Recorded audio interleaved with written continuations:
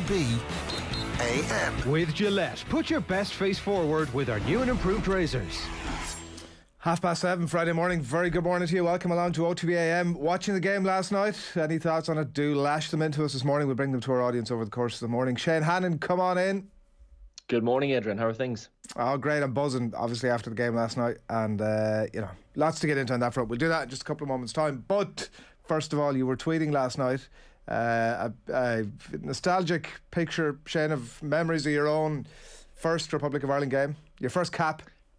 My first cap, yeah, my first uh, attendance at an Ireland match. I was only a kid. I think I was seven, maybe. Um, this is the reason Andorra is my second team, Adrian, and brings back fond memories for me. So it was April 2001, uh, World Cup qualifier for the 2002 World Cup, of course. 3 1 win for Ireland. Uh, Kilbane, Breen, and Kinsella among the goals for Ireland. Um, and the reason it kind of popped into my head and I had a bit of a, a double take yesterday is because the goal scorer for Andorra last night, or sorry, that night in 2001, was the 21 year old Ildefons Lima, who last night at 41, 20 years later, came off the bench mm. um, and uh, came onto the pitch, you know, breaking was it Jari Litmanen's feat yeah. of international football in, in four Even he decades, was laughing so. at it when he was coming on. He was sort of looking around and laughing at everybody, going, "Ha ha, stay to me." Yeah, it's like what's going on. So I have the match program uh, from that night. You have the lovely um, Ian Hart, if you can probably see mm. that. Ian Hart looking like something out of Westlife. Uh, signed by Ian Hart as well at the front. I used to hang around the back of Lansdowne Road, get players' autographs. Uh, so that was one I got. But one memory from that night is Ildefons Lima uh, got onto the Andorra team bus as I was looking for autographs, um, came back off the bus, handed seven year old me a little Andorra pin. Now, I, I was trying to look around for it last night a flag of the Andorra, a, a pin of the Andorran flag. Um, and so when he came off the pitch last night, I always remembered his name, and I was thinking, how is this guy still playing? So for that reason, my memories of that match uh, as my first game at Lansdowne Road, and my memories of Andorra generally are very positive.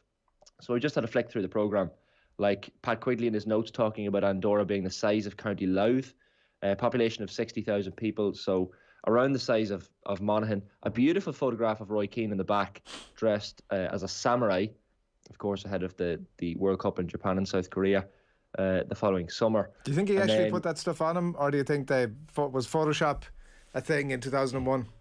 It looks very, very like it was him. Here, Roy, um, will you just put this samurai samurai uh, suit on? Well, he did dress up no, in a thanks. suit for a, a Walker's crisp ad, I think, years ago true. as well. So he wasn't he wasn't against it. Uh, Mick McCarthy dressed in his absolute best here. Hopefully, you can see that for a Penneys ad. Mick always so, puts his best side out. Mick looking very well. Mm. Uh, yeah, and the subheading "Managing to look this good is easy." So uh, a lovely little image of Mick McCarthy, yeah, and then there's lovely. a nice little kind of precursor to Saipan in this as well.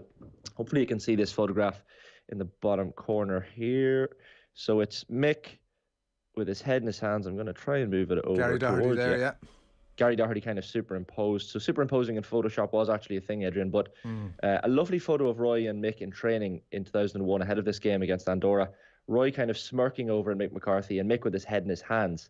Uh, an omen, perhaps, of what was to come just over yeah. a year later in Saipan. So, uh, some nice little nuggets in that program. But yeah, it, uh, the, it happy foretold, memories for me. Foretold the future, Shane. Um, indeed, indeed, yeah, yeah. So um, Ildefons Lima is, is my uh, is my favorite. Lima, there we go. Looking at the, uh, the the goal last night, actually was they weren't that dissimilar. The goal that night in two thousand and one to the goal mm. that Andorra scored last night. Um, We'll let's take a bit of reaction to the game. We've we've lots to get into. We're going to talk to Matt Holland about it later on as well. But we'll take a bit of reaction to the game. We're going to start off here. Stephen Kenny uh, talking about that Andorra goal. We didn't. Uh we didn't um, concede any goals from set pieces since I took over, except the second phase against England. You know when it was we cleared it out and then they knocked it back in for Harry Maguire. Harry Winks picked it up and in the friendly and knocked it back in after on the second phase. But we haven't conceded a goal from a set play. But that was a poor one today. It's no doubt about that from a wide free kick. So I'll have to have a look at that. Um, it's not something we've been focusing on um, defending set pieces because know, there's only so much. You know, we, we haven't had that long. You know, we've only had four days or five, you know five days or whatever because you have to give a day off in between that. You know, yeah. So you can train every day coming into a match. So it's um, we haven't been focusing on defending set pieces. We've been trying to working on sort of creative elements of our game if we can within the different systems. But um, the um, but no, it was a bad goal to concede today. There's no getting away from that, and uh, it's not like us to concede a goal like that from a wide free kick, and I don't I don't like that It's somewhat unusual to hear an international manager say that they haven't been focusing on defending set pieces. I would have thought that was first on the checklist of things to get done when they come in. But look, it's understandable, and, and maybe he's just being more honest than other managers would be when they're in that position. But the concession uh, I mean, if they never worked on defending a free kick, the concession of that goal last night against a team ranked 158 in the world, and we were all at sea. It wasn't as if there was a lot of pressure on this guy to to head it home from fairly close range. It definitely, definitely gives cause for concern. Yeah, and I think a lot of people at halftime were possibly questioning their choice to watch the game um, and thinking this is absolutely abysmal. Uh, as you said, 158th in the world, 111 places below ourselves. Um, and when it's eight days out from a from a major tournament like the Euros, and we're here hoping to nick a win against the Andorrans, it kind of puts things in perspective a little bit, makes you a little bit fearful. But you know, we had to stay positive, um, and luckily, luckily things looked up. But eh, the the Andorra goal was abysmal. Um, mm. And, and like how much do you look into it? Do you do you focus on the, the fact that it was nil nil at halftime against Andorra, the fact that we went one 0 behind, or do you then focus on all the positives that came in the second half? Well, I, mean, I, I, think you tap into something, Shane, because I think that that I think we we should not forget that first sixty minutes. Like we can't be, we can't just override everything because the result was right at the end, and it was great to get the goals, and there was like positives out of it. Obviously, Jason Knight played really well. The goals from Troy Parrott when eventually the urgency came in, started to come into our game after we won behind. Like that's all good stuff, but we cannot forget like I the the management team for me after 60 minutes when we're behind I, their jobs are on the line at that point. Like somebody somewhere is thinking this is really not working out and and if we can't grind out something against a team ranked uh, ranked 158 in the world like I think they're half an hour from some serious conversations about the future of this the Republic of Ireland management team. Now they they got it done at the end and we get over the line and and like there is an element of hopefully we can bank that win and go on and kick on. But mm. really worrying large portions of worrying uh, of worry for that for that management team and for this team going forward. Like it's it, when relief is the biggest emotion out of a game against Andorra, it's not good and like like with the manager being on the line, that's that's a serious thing because that shows the pressure of international football. The fact that people like like yourself and other Irish fans are thinking in the middle of the game.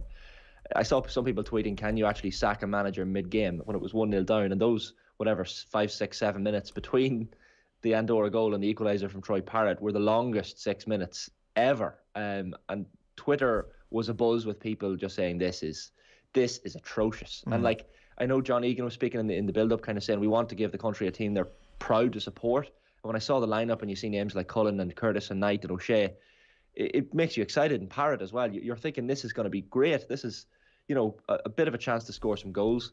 Uh, and then they go one 0 down. You're thinking, oh no, this is this is going to be Luxembourg 2.0. Mm. Um, but the fact that they came back and did the job, we'll we'll we'll never we won't remember this game for, for the fact that we went one 0 one nil behind. We'll just look back in the annals of history and see we had a four one win in Andorra. So um, if if things look up for Stephen Kenny and, and he can can you know the positive is we, we scored four goals. It might have been against Andorra, but the celebrations after the Troy Parrott equaliser uh, from the players, if you look around the players on screen at that moment, they're all going fairly fairly crazy for a friendly. Uh, it shows how much it meant to them. They knew that they needed to get a win, uh, and that was the start of the comeback. Yeah. So a big a big result, but yeah, not not perfect by any stretch. Yeah, it is. Look, it is one of those games that is a bit of a hiding to nothing. Like no matter if you beat them four one, you just would have hoped it was more comprehensive, more controlled, more incisive, more positive, progressive, whatever word you want to use around it. There was times where we just it just felt, lads, we're playing Andorra here, and uh, as one of our YouTube commenters uh, points out this morning, Mark Allen, uh, good to know our level beating Andorra. Um, and for now, that's kind of where we're at. Let's take a quick clip of uh, the man of the match last night, Troy Parrott, after his couple of goals. You, you said it. Um, it's been a tough season. To be fair, I've got a lot of criticism. Um, it's finished the way I wanted it to go the whole the whole time. Um, but things don't really always go to plan, and I'm really really happy to, to finish the season strong. Has it been tough then to take on board that criticism, and, and what are your plans for next season? Do you know where you'll be? Uh, I wouldn't wouldn't say it's tough to take it on. Um, obviously, no one wants to be to be criticised, um, but it pushes me, and makes me want to do do even better. Um, on next season, I'm not too sure what's going to happen, um, so I can't really say much on that. Sorry, not to harp on the criticism, but is it because you were such a big name as a teenager? You're still a teenager, aren't you? But because there was a lot of expectation on your shoulders that you were sort of maybe judged differently and hadn't been able to develop? Uh, maybe it was, maybe it wasn't. I'm not too sure. I try not pay attention to that too much. Um, I want to concentrate on my football and ultimately scoring goals. Yeah, and we're just not sure about Troy Parrott just yet. Obviously, a huge amount of expectation on him. A couple of goals in 18 games at Ipswich. At that level, you would have hoped maybe for more. But again, when you look at the game last night and you look at the composure of him to, to bang in those couple of goals again, maybe that can be the thing that drives this guy onto greater things and to establish himself at wherever it is, he says himself there, that he ends up next season. The step up to senior football is obviously a big one, and it hasn't happened for him yet, really, you'd have to say. But maybe last night can be the cat- catalyst for that. There's a nation hoping that it will be, and we'll follow it with interest over the next while. Obviously, Hungary to come in a couple of days too, and we'll um, look ahead to that in a little bit. But it is uh, 7:42 on this Friday morning. Delighted to have you along with us. Uh, OTBAM live in association with Gillette. Good mornings. Start with Gillette, giving you the confidence to tackle the day ahead. A bit of a flavour of what's coming up between now and uh, 10 a.m. with myself and Shane. We're going to talk to Jim McGuinness fascinating conversation that uh, we're going to bring you away in a couple of moments' time. Matt Holland is going to pick through the game in Andorra last night, and uh, there's loads to get into. If you've comments for Matt or questions for him, opinions, whatever it is, fire them into us. We'll put them to Matt a little bit later in the show. Um, the Rod squad um, we'll say no more on that. Um, although Shane will be called out in, in a little bit. We'll be talking a little bit about the Rod squad. Uh, the sports pages let you know what's going across. Obviously dominated heavily by the football last night, so we'll uh, bring those your way at about half past eight this morning. After that, Alan Quinlan and lots of interesting stuff, including at the back page of the Examiner this morning. Uh, links with uh, Donnacha Ryan with a coaching role with La Rochelle no less. So we'll get his thoughts on that and a few more other bits and pieces as well. Shane has been uh, speaking to Ailish and Eimear Considine, and that'll be coming your way just after an interesting chat coming your way just after uh, nine this morning. And uh, we'll bring you some of this week's football pod with Andy Moran and Paddy Andrews as well. So that's at uh, 9.30 this morning. But do keep your comments coming into us, as I said. Football or anything else that is a on your mind this morning, do get your comments coming into us. And as I said, Matt Holland will be with us just after 8 this morning, so stay tuned for all of that. First, uh, Shane and myself sat down with Jim McGuinness yesterday. It was the launch of Sky Sports GAA coverage for the summer, and uh, fascinating chat. Enjoy. OTB AM. All right, you're watching OTBAM, and uh, as part of Sky Sports 2021 GAA season launch, announcing their 2021 championship fixtures. It includes 18 live matches, 12 of them exclusive to Sky.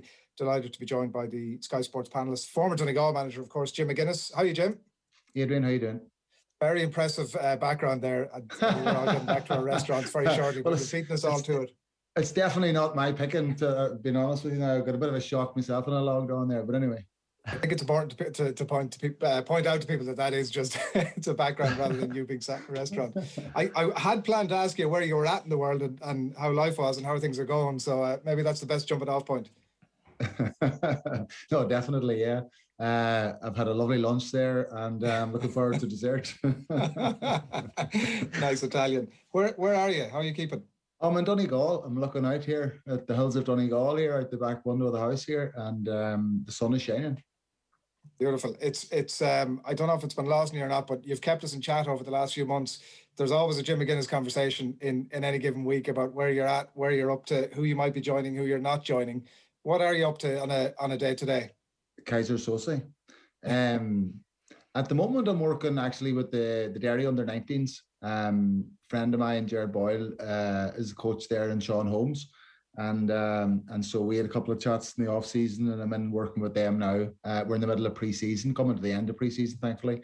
Um, so I've really enjoyed that. It's been great fun, um, good banter with the coaches, and uh, getting a good bit of work done with the players as well, and uh, a good wee group as well. Some talented players in there, and um, and looking forward to the start of the season with that. And then just on in terms of myself, like waiting for that right moment or opportunity. If something comes up, then you know that I can I can jump from that and and, and make a decision. You know, but it's great to be back on the pitch, uh, you know, working with players again and, and just running sessions and, and developing things, you know, um, that's been really, really enjoyable because of lockdown and stuff. Um, you, you miss it. You really do miss it.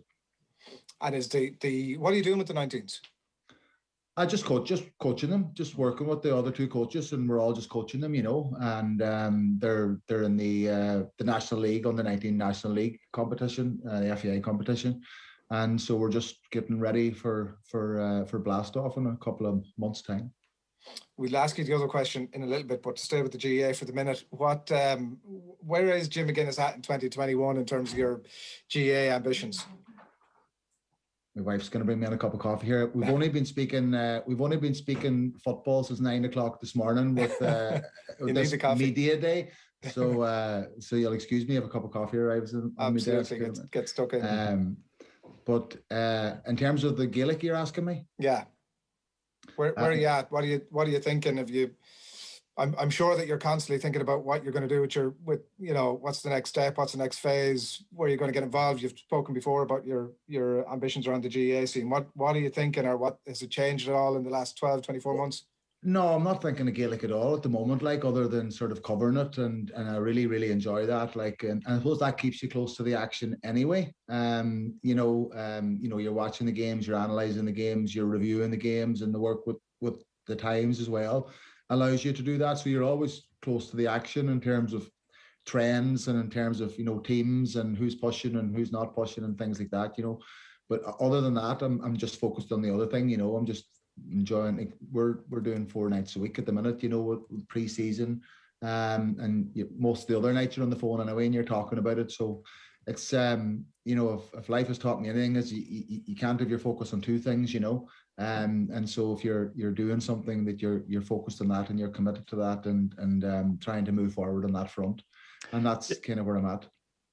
Jim, I'm just curious now when you're when you're working with under an under 19 setup, like you know, we're talking 10 years on now since that great Donegal team in 2011, mm. 2012.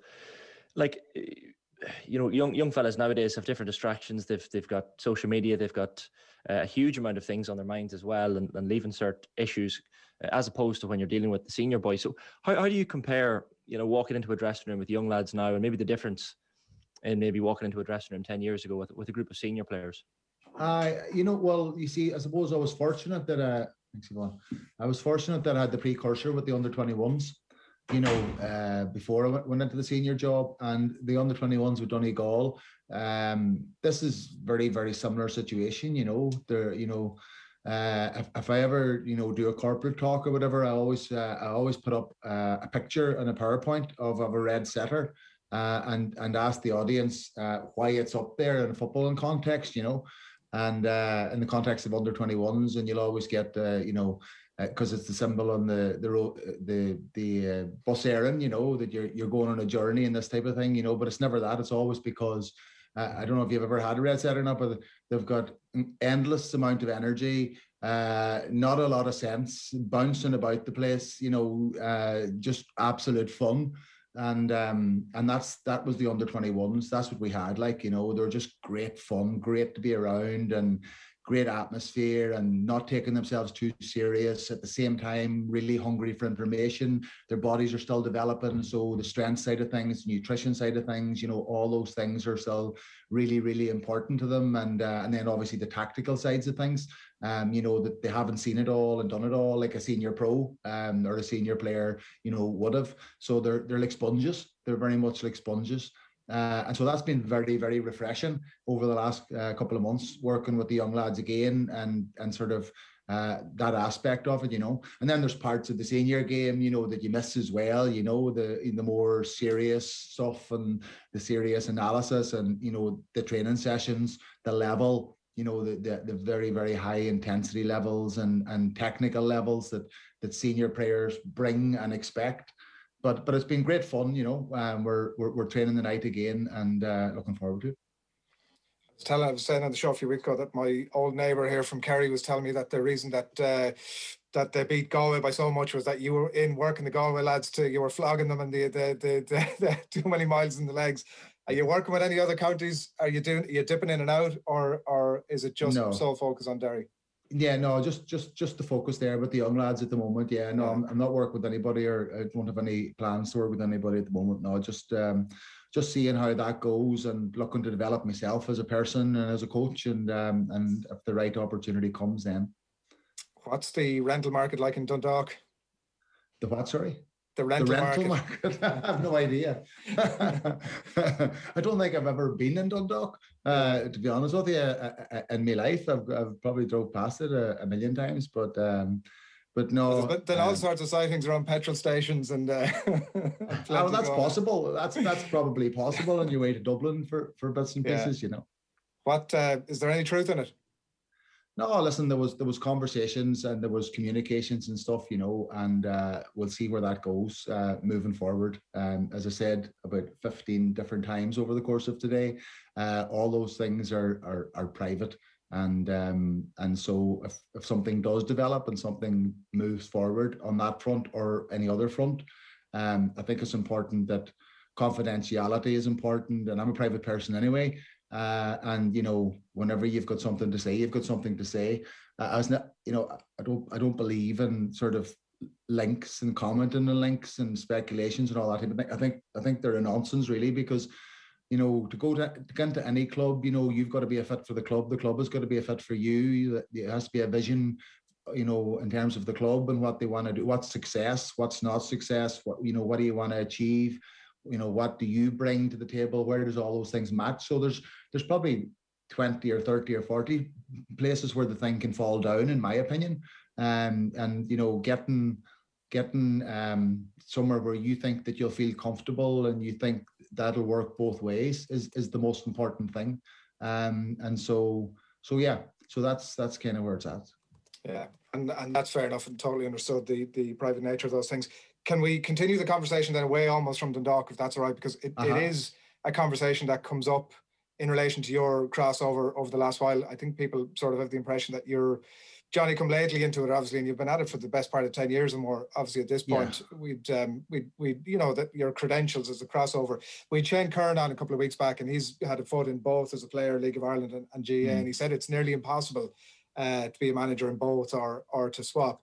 Where do you see yourself at in terms of that conversation, Jim, around your football credentials? How much of a football man in terms of soccer um, that you are, and and like yeah, like like as I said, there are there are certainly a lot of people that have voiced their opinion about you who who Mm. uh, who who are in the world of soccer and, and about your credentials as a football man. How do you view Yeah. all that?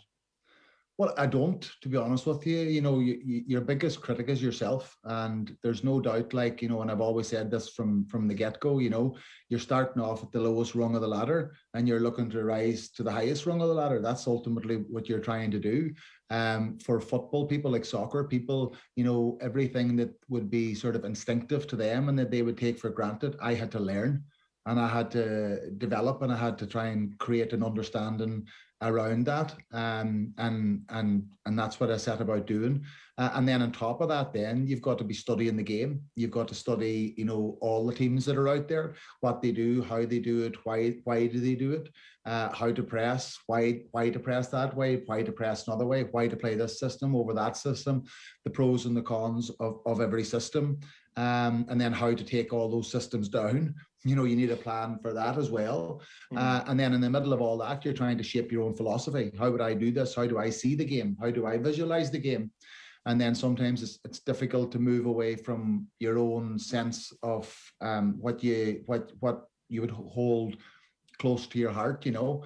So I don't think I would agree with Shane. I don't think I think it can be done, uh, or else I wouldn't be doing it. Um, Mm. in in one instance, um, but I think it is a journey as well. Um, and I can you know it's funny, like because I done a bit of work with you, Martin, and and and Louth last year, and you know when we were trying to win a county championship with them, and it was really interesting because I hadn't been on a Gaelic field for a while, you know, Hmm. and the first fifteen minutes have been on the pitch like I was lost, um, because I was thinking the other way all the way, uh, and I was thrown by it like, and it was like whoa, you know, that's great though, isn't it? uh, I mean, as as a, as somebody who that's that's brilliant. Like you're thinking another language. Thinking another language and then after 15 minutes i was fine i like i was Yeah. 100% and then that was me and i was away again and I was, you know, heading in loads of different directions. But I thought that was that was that was a good moment, you know. And even with the 19s and Derry, like I do a lot of the coaching, like you know, when we're pushing them uh, physically, we're pushing them tactically, you know, we're we're trying out things, you know, and um, and I do have a very clear sense of what the game looks like in my own head um, and how I want that to to look like on the pitch. Mm. Um, and so so all those things I'm comfortable with now. Um, and like you can't stop people from talking, like you know what I mean, and you can't stop people from criticizing you, you know. But the only thing you can do is be true to yourself and try to keep moving forward and prove everybody wrong. Ultimately, that's that. At the end of the day, that's what it is. And people that really, really put the boot in, you know, those are the people that you're trying to prove wrong more than anybody else. You know, at the end of the day, you know, because um, you know, if the criticism is harsh, like even when you're a Gaelic manager, do you know what I mean? Um, it's not yourself, it's more people around you or, or family and stuff and things like that c- can be difficult. But I also, um, you know, I do understand where people would go, well, like, I mean, that's never going to work. Like a Gaelic man going into that environment, you know. Mm. But I, I don't, I don't agree with that now, um, because I'm in it so long and and and I've studied the game so much and and how I see the game is so clear in my mind. Um, and so, uh, you know, um, a big thing is the right club. A big thing is recruitment. Um, you know, I need a certain type of player to play the game the way that I want to play it, and, and I suppose everybody does. You know, uh, in terms which of, is what? of their philosophy, but which is what? high intensity. You know, it's aggressive. It's high pressing. You know, it's it's asking questions of the opposition. A bit like Donegal, it's it's ruffling teams psychologically. You know, uh, with intensity. But you need good players in the middle of the park that can put their foot on the ball. You know, you need athletes at fullback. You need centre halves that can build attacks, that can step in, that can create incision moments. Um, and then from a from a, a build-up play, you know, you need that connection between that first line, the middle line, playing it out, to play it in, to play it in, to play it out, you know, and you need pace up front. For me, you know, uh, pace up front would be very, very important because, you know, going back to me, Gaelic roots, you know, it's I like to get the ball in behind and ask that question. I think I think Chelsea did that very well in the final. I think they, um, ask, you know, they yeah. mixed their game up really well. Yeah, I mean, they, they had a defensive plan. Mm. They, they forced City to play through them, um, but they also mixed it up really well. They had good pace, they had good runners. They played those passes early, and even if it didn't work out, you know, they're they're up and they're they're squeezing spaces and stuff. You know, so so yeah, I mean, you need a certain type to to play that, and you need a certain type here as well. Um, yeah, and, I mean, and that's hard. That's I was managing Donegal, that sorry to cut across you. That's harder Not to get really. almost when you're when you're you know with with all, all respect to obviously the, the you know in the Chinese league and and with, with Charlotte like it's it's hard to I understand exactly what you're saying in terms of the quality, the skill level, the mentality of a player. They tend to be the players that reach the very top, um, and maybe even a, maybe even a Dundalk in some regards. But but it, it makes it your job almost harder, does it? That that like it'd be easier to walk into a Chelsea obviously and uh, and deal with that caliber of player. Uh, well, it all depends on the players that are there. You know, it all depends. Like, I mean, like uh, uh, uh, number 10 in inverted commas, like, you know, um, would struggle in a system like this. You know, and if you look at a lot of the, the big teams that are playing a, a high intensity pressing game now, that, that position doesn't exist anymore because you just can't have that luxury um, where people sort of stroll about the place waiting to, you know, to link play and make connections. You know, it's it's more about three midfielders or four midfielders that are aggressive and up on it and asking questions. And the nine now a lot of the time, the nine is the false nine, and they're the person making the connections rather than than the ten, you know. Um, and so no, I, I think it just depends what you have. Like I was going to say there um, a second ago, when I was looking for players in Donegal, you know, the question that I used to always ask myself when I was at club games was, can he do it? In one hand, uh, and then the second question was, does he want to do it? And the second question is the more important question because at a professional level, most of them can do it. That doesn't mean they want to. Do you know what I mean? Most yeah. of them have the capacity, they're training every day, they play every day, but do they have the mentality? You know, and so if you look at teams like Leeds, you know, like Salzburg, like, like Leipzig, like like Liverpool, um, even Chelsea, you know, even though they've played a low block since he's come in. His principles would be would be in line with those other clubs normally. Um, you need you need athletes, you need runners, and you need guys that want to do it. You know, and I remember Jurgen Klopp speaking about Salah. Um, you know, when he came into the club, that he wants to run in behind. So if you have a player that wants to do that, then implementing your philosophy becomes much more easier than having a player that you know can do it, but you've got to say, can you give us more in behind? Can you give us more in behind? You know what I mean? So yeah. you're you're pushing a message all the time in one hand, whereas in the other hand, the guy wants to do it anyway. And yeah. so if you've got midfielders, you know, that are feisty, uh, like Milner and these guys and, and Henderson that are aggressive, you know, they love that battle, they love that challenge, but are good football players into the bargain. It's a perfect mix, you know. Mm. Um, and so recruitment uh, uh, uh is huge. Can I ask you a little bit? It's it's slightly tangential, but it certainly brought to mind as you were talking there. Uh, Paddy Andrews and Andy Moran on the football pod, uh, the brilliant football pod that's uh, come on stream from OTB over the last few weeks. Uh, we're talking this week about the 2014 game, and Paddy was saying about how that game was a line in the sand that it changed Dublin forever. That that that that sort of you going up against that man-to-man setup and and moving players around and changing the the position of it. And it was just it was a really interesting point. It struck me a that you were to blame for the six in a row jim that that was very firmly at your door. Which but nobody B, in dublin has thanked me for yet. I can only imagine. I can only imagine. B i did wonder um that was 2014 and and everything you did around that time in 2021 where you see the game because like even when you talk about the gegenpress there and um Joe Brolly's been writing about the heavy metal football uh, uh, over the last few weeks as well. Where where is it felt like a boom time almost for for GAA tactics in the you know sort of 10 12 13 years ago. Where is it at now? Is it is it still progressing? And what sort of phase are we in at the minute?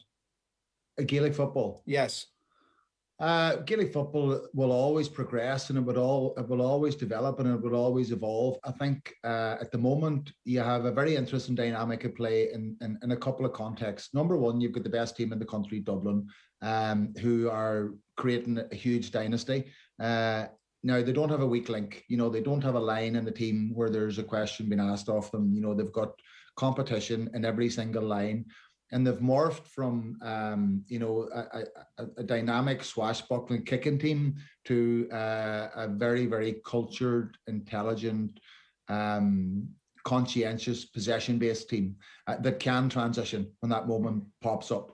But you know they will keep the ball and they will use the ball and they will they will drag you to one side of the field to put it to the other side of the field to inject pace and and, and all those types of things. What's interesting is for me is all the other coaches in the country are sort of following the offensive model that is Dublin. Um, and they're, you know, and, you, and that's reflected in the scores. Like I said it earlier, yeah. uh, uh, uh, in the launch for for for the, the GAA for the Sky coverage. Um, when did we move from you know Gaelic football to hurling? Because all the score lines now are hurling score lines. You know, it's four twenty one and it's one eighteen mm. and it's two twenty three, and you know, that, and, and Ulster football leading the way, by the way. Aye, and this is this is this is this is standard, you know. Yeah. But but there's a paradox here for me, and the paradox is that Dublin, to my mind, were the most defensive team in the country last year. Uh, like we were at the games and we were watching the games, and the 15 players and inside their own fort, 65, almost every single attack. Uh, and I don't feel that they get the credit for that that they deserve on the one hand, but I feel that it's whitewashed over as well because they're so good going forward. And I think there's a fundamental flaw with the teams that are trying to follow them in the sense that they're taking the Newcastle approach. They're trying to, you know, outgun everybody and, and do the same at the other side. But there's no doubt in my mind, Dublin were the most sophisticated defensive system. In the first third, when they were pressing high, the way that they did it, the way they got people to the sideline, the way they created 2v1s, then maybe trying to push out that to a 3v1 and won the ball high up in the field the way they did it in the middle third with, with extra bodies, and then in the final third, the contact that they brought. They brought more contact than anybody else. Like tackling is almost gone, hmm. but Dublin brought it. And and you know, there's people in there that love contact as well. Like Johnny Cooper loves it, you know, Small loves it, you know, uh, James McCarthy loves it. They love making tackles but they did make tackles as well. Let's be honest, like you know, they they hit they hit they hit hard, they hit fair, and the ball popped out. And so um, so you know, if you're going to play man-to-man football, which plus with the plus one at the back, if you're going to play that and you expect to beat the other team, then you've got to be better than them. You know, if, if I'm playing wing half forward and I've got phenomenal pace and you don't have phenomenal pace and I drop my shoulder and I go and then I go the other direction, it's over. You know, it's a foot race. And if the cover's not there and the support's not there, you know, and um, and so I find it interesting, you know, that that Mayo, even though they've lost all those All Ireland finals, never made that even adjustment to go for something else for 20 minutes back to your principles go again 15 minutes could manage the game in the last 15 you know they had a couple of all irelands won but they kept on sticking with the the other part of it um, and yeah, Dublin, who uh, when the game was in the melting pot, uh, they, they grabbed everybody by the neck and pulled them to the ground on the most important kick out in the game because they knew what to do to win the game. Mm. And and Donegal now are, are absolutely gung ho uh, offensive. Um, Tyrone are looking to do it. Mayo are still doing it. Kerry are doing it. Um, but the other side of it, uh, you know, is about is it's about getting that right as well. And I'm not talking here that it needs to be a defensive approach. It needs to be both. You know, we tried to win the All Ireland 2011. We couldn't win it because we were too defensive and not offensive enough. Mm. Um, and we moved from, you know, like, let's be honest, we kept teams on average to 8.5 points in the championship that year, which is the lowest in the history of the game. But that was our building block. That was our platform. And then we and we only got 11 scores on the board on average ourselves in every one of those championship games. But the following year, when we won it, we were getting 17.5 points on the board, but we retained the defensive aspect. And there's a st- very strong parallel between that and what Dublin are doing at the moment. Dublin have men that want to defend and can defend and a system to defend in each each third of the park. And then they have a phenomenal attacking unit with the goalkeeper, particularly the halfbacks, the midfielders, and the six slash ten forwards that they can use on a given day. So the balance is right with Dublin. Whereas I'm not sure if it is, you know, with the pretenders. I'm not sure if it is with Donegal or Mayo or Kerry. Um, uh, you know, Tyrone um, you could throw into the mix there as well. So, so I find it interesting, you know, um, that people are following Dublin on the one hand, but they're missing out, I think, on on that other part of it. And Dublin have all the boxes ticked now. Jim, can I just ask you um, on, on, a separate note? I guess like we had the news in the last week or so of uh, Naomi Osaka, uh, the tennis player, deciding to, to not speak to the press around the French Open and then pulling out of the tournament um, as a result. And look, there are uh, obvious mental health concerns there. And mm. for her, it was clearly the right decision. But it, it kind of just got me thinking about uh, GAA players and managers and speaking to the media, uh, you know, at the height of the championship when when everything is at its peak. Um, and, you know, we've had we have different phrases like control the controllables, and you've Peter Keane coming out after his Kerry side demolished Galway saying, ah, sure, all the, all the usual Yera stuff. But uh, and then you see people like Jack McCaffrey coming out and being so uh, eloquent when he speaks. Um, like, in your mind, I guess is it right that that you know GAA players and managers kind of keep quiet at the height of the championship, or do you think for the sport itself and for our national game that it might be it might actually be a good thing for them to open up and speak a little bit more? Uh, I guess to to you know improve aware, awareness around the game globally. Yeah, when you say speak, you sp- about mental health. No, sorry. That was just, I guess, Naomi Osaka's reasons for, for I guess, not taking part in press conferences at the height of a tournament. But uh, just yeah, wanted but, to bring that but even that, even that example of, of Naomi, like, you know what I mean? Everybody speaks about mental health and everybody speaks about the importance of mental health. But then there was a girl clearly uh, evoking that right and then getting criticized for that. Uh, and so uh, that would be the parallel that I would draw from that, that every manager has that right. Do you know what I mean? They have that right to decide themselves what they should say and, and what they shouldn't say. And my take on it was that I was always trying, I was always open with the media. Um, and I always tried to give, you know, honest accounts, and um, and sometimes as well, like you know, when you're open with the media, you're actually talking to your own players. You know, mm-hmm. you're talking in terms in the in the context of performance. Like we know we're better than that. We know we can do better than this. We know we're better than that. And and and you're sending a message on the one hand, but on the other hand, the intricate details behind that message, the players are very, very acutely aware of.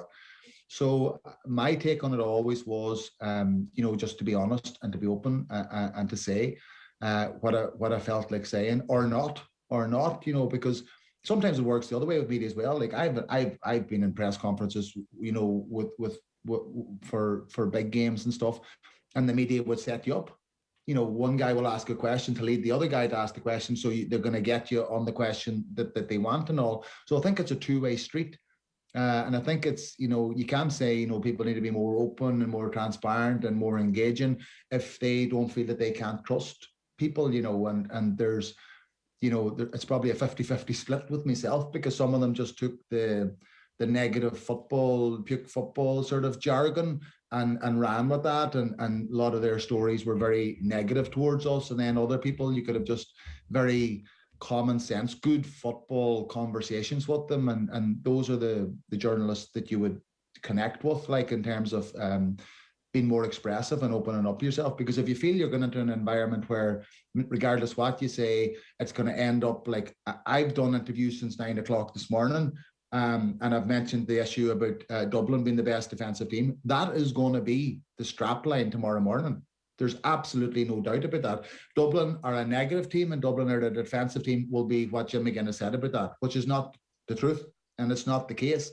But I know that half of the media will take that and run with that, and the other half will be analytical and call it as as I said it, and and and wait for that uh, tomorrow morning because I think that that that will happen. Um, and so, for me, it cuts both ways. And I think um, on all of these issues, whether it's mental health or just the right to talk or not talk, you hold that right. But uh, per, on a personal level, I feel you should be engaging.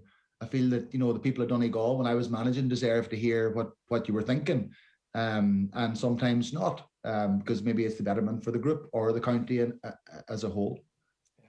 Have a look at there's plenty more in that and plenty more in everything else. I actually brought to mind. I remember doing a post-match interview with you up in Ballybofey after a league match a number of years ago, and I think it was Neil McGee got the man of the match, and you were you were asking me off camera if we'd got the right McGee brother, uh, which uh, which was a good way to start off an interview with a, a, a fairly stern Jim McGuinness. I'll say uh, I'll say after that game too. But uh, listen, it's been a pleasure catching up with you. Whatever uh, the, the future holds, good luck with the punditry, obviously with Sky over the coming months, and uh, whatever the future holds, we'll keep a close eye on it, and uh, and best of luck with it. Thanks very much, boys. Brilliant stuff from Jim McGuinness. You could really spend a lot more time in that man's company, and you can hear a lot more from him on the telly as well over the course of the summer. He was obviously speaking as part of Sky's 2021 GAA season launch, announcing their uh, championship fixtures 18 live matches, 12 of them exclusive to Sky Sports. And uh, that was the former Donegal manager, Sky Sports pundit, uh, Jim McGuinness. You can, uh, if you came in halfway through, check out the full piece on YouTube a little bit later this morning. We're going to be talking uh, football in the company of Matt Holland next. OTB AM on OTB Sports Radio, Ireland's first and only sports radio station. Dad Pod. This is a video thing as well. Does have a name? Podcast. Midlife crisis. Paddy Daddy. Mm. Midlife crisis. Dadcast. That's not bad, actually. Yeah. There was a, a, definitely a period of a couple of months where meltdowns were becoming more frequent, and now when she's outside and she's sort of playing with the neighbors' kids, like if she doesn't get her own way, the meltdown is quite extreme. So maybe that's the terrible twos, but I think maybe we've escaped the worst of it. Well, I think the terrible twos is a bit of a misnomer because it goes into the threes and fours. Dadcast Tuesdays from 3 p.m. on OTB Sports Radio. Tune in on the OTB Sports app. Invisible Threads, a Go Loud original. As we celebrate the sixth anniversary of marriage equality, Invisible Threads meets older members of the LGBTQ community who reflect on their journeys and tell their stories. From shame and isolation to conversion therapy, from living with fear to coming out as an older person. Join me, James O'Hagan, for this powerful eight part series, winner of the first Go Loud Podship. Subscribe to this podcast for free on the Go Loud app. OTB AM. With Gillette, put your best face forward with our new and improved razors. All right, nearly quarter past eight. Do keep your comments and questions coming into us in relation to the football, particularly because I'm delighted to say we are joined on the line now by Matt Holland. Morning, Matt. Good morning. Thanks, May, for taking the call. We wanted to pick through the game last night, and so much as it was, I still can't, and I think many people can't figure out whether that was a decent step forward or if it's raised more questions about this team and, and the management team. Yeah, um, look, it's a win. I think that's the most important thing, particularly after the sort of start that Stephen Kenny's had in charge. Um, going 11 games without a victory, it was so important. No matter how it came, didn't have to be pretty. It wasn't pretty. Certainly for an hour, it wasn't pretty. Um, but the most important thing was was to get that win under his belt. Um, I think he needed it, the staff needed it, the players needed it because you know you you know what it's like when your things aren't going particularly well. Confidence is shot to bits um, you need a little bit of, of something to go your way. And, and obviously, to get a win was the most important thing. That six minutes was it after Andorra scored? Uh, there was definitely a moment there where you're thinking that Stephen Kenny and, and his management team might not even see the night out. It was that perilous.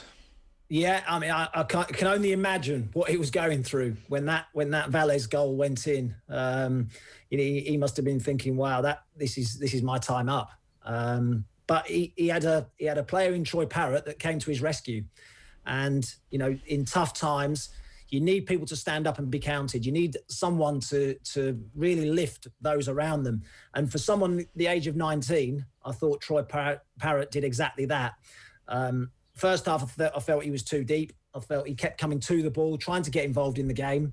Um, on a pitch that was far from perfect. Let's get it right. You know, it wasn't easy for, mm. for the lads to, to move the ball nicely, but I just felt he kept coming too short in that first period. The second period, and particularly after going a goal behind, he started to want to make things happen further up the pitch, and and ultimately he was he was the one that really that that um, that dragged Ireland to the win last night. Yeah, and maybe gave it away once as well. That uh, you, when that instinct maybe kicks in a little bit more experience at that level. Have you? He's been obviously spent the last couple of couple of months in, in League One at your old club, Matt. Have you seen much of him? Heard much about of him? About him? Not not loads. Um, I mean, I've seen a few of the Ipswich games, um, and he's sort of been in and out the side a little bit. Um, I think a, lot of people sort of a bit unsure what necessarily is his best position as well. Yeah. Is, you know, is he, is he a number nine? Is he a number ten? Um, I actually liked him in that role last night. I liked him in that position. Um, I thought he, he um, it suits him. I think he's got that ability to come short and get on the ball, but don't come too short. Don't get in the way of, of Josh Cullen and, and Conor Hourihane at times. And I think he did that. He, he, he was desperate to, to make an impact. Um, but sometimes, you know, by doing that, you're getting on top of each other. Um, but I think that number 10 position does suit him because he's got the ability to pick a pass um, as we saw actually for the um, Ronan Curtis chance, because he was he was you know very unselfish actually, where he could have gone for goal himself and, and just dragged it back into into the path of of Ronan Curtis. Um, so I think he's got that ability to pick a pass, but he's also got an eye for goal as well. Uh, Matt, good morning. Can I can I just ask you about Jason Knight? Um, uh, like another bright spark from last night's performance. If we're looking for bright sparks, um, and like Wayne Rooney was clearly a fan of what he did at Derby County last season and, and impressed quite uh, readily in the championship. But uh, he deserved the goal. And he's a player, I'm sure, who, who has serious potential. Only 20, uh, only turned 20 in February. I think he was a month old when you scored away at Andorra in uh, in March of 01. Not to make you feel old or anything this morning, but like what what sort of uh, potential and, and, and career do you think he can have with the Irish team? Yeah, I think you're right. I think I think the two major positives were were Troy and, and Jason. I, I, like him. Um, you know, I think he's got a bit of character about. Us. I talked about tough times. You need big characters, and he's got that. You can see it. He wants to take responsibility. Um, he wants to get on the ball. He's full of running, full of energy. Um, and, and, you're right. He deserved he deserved his goal as as well. They were the two two bright sparks at the age of 19 and 20. Um, you know, and you're looking for someone to step up and be counted two young lads did that, and he's someone that, that really impressed me. He can play in a number of positions. You know, he, he, yes, he can play out wide, but he can play through the middle as well. No problem at all. He's got the energy to, to go box to box, and so uh, I, he delivered a brilliant ball, didn't he, in the first half for, for James Collins, which he, he should have scored. Um, so yeah, his performance um, was another you know bright spark, I think, for for Stephen we had uh, Stuey Byrne on, on the program last night, and, and he was talking about, uh, especially in the first half, the confusion among the players, uh, what appeared to be confusion. And he was saying, you know, the players look like they're thinking, what am I really supposed to do here?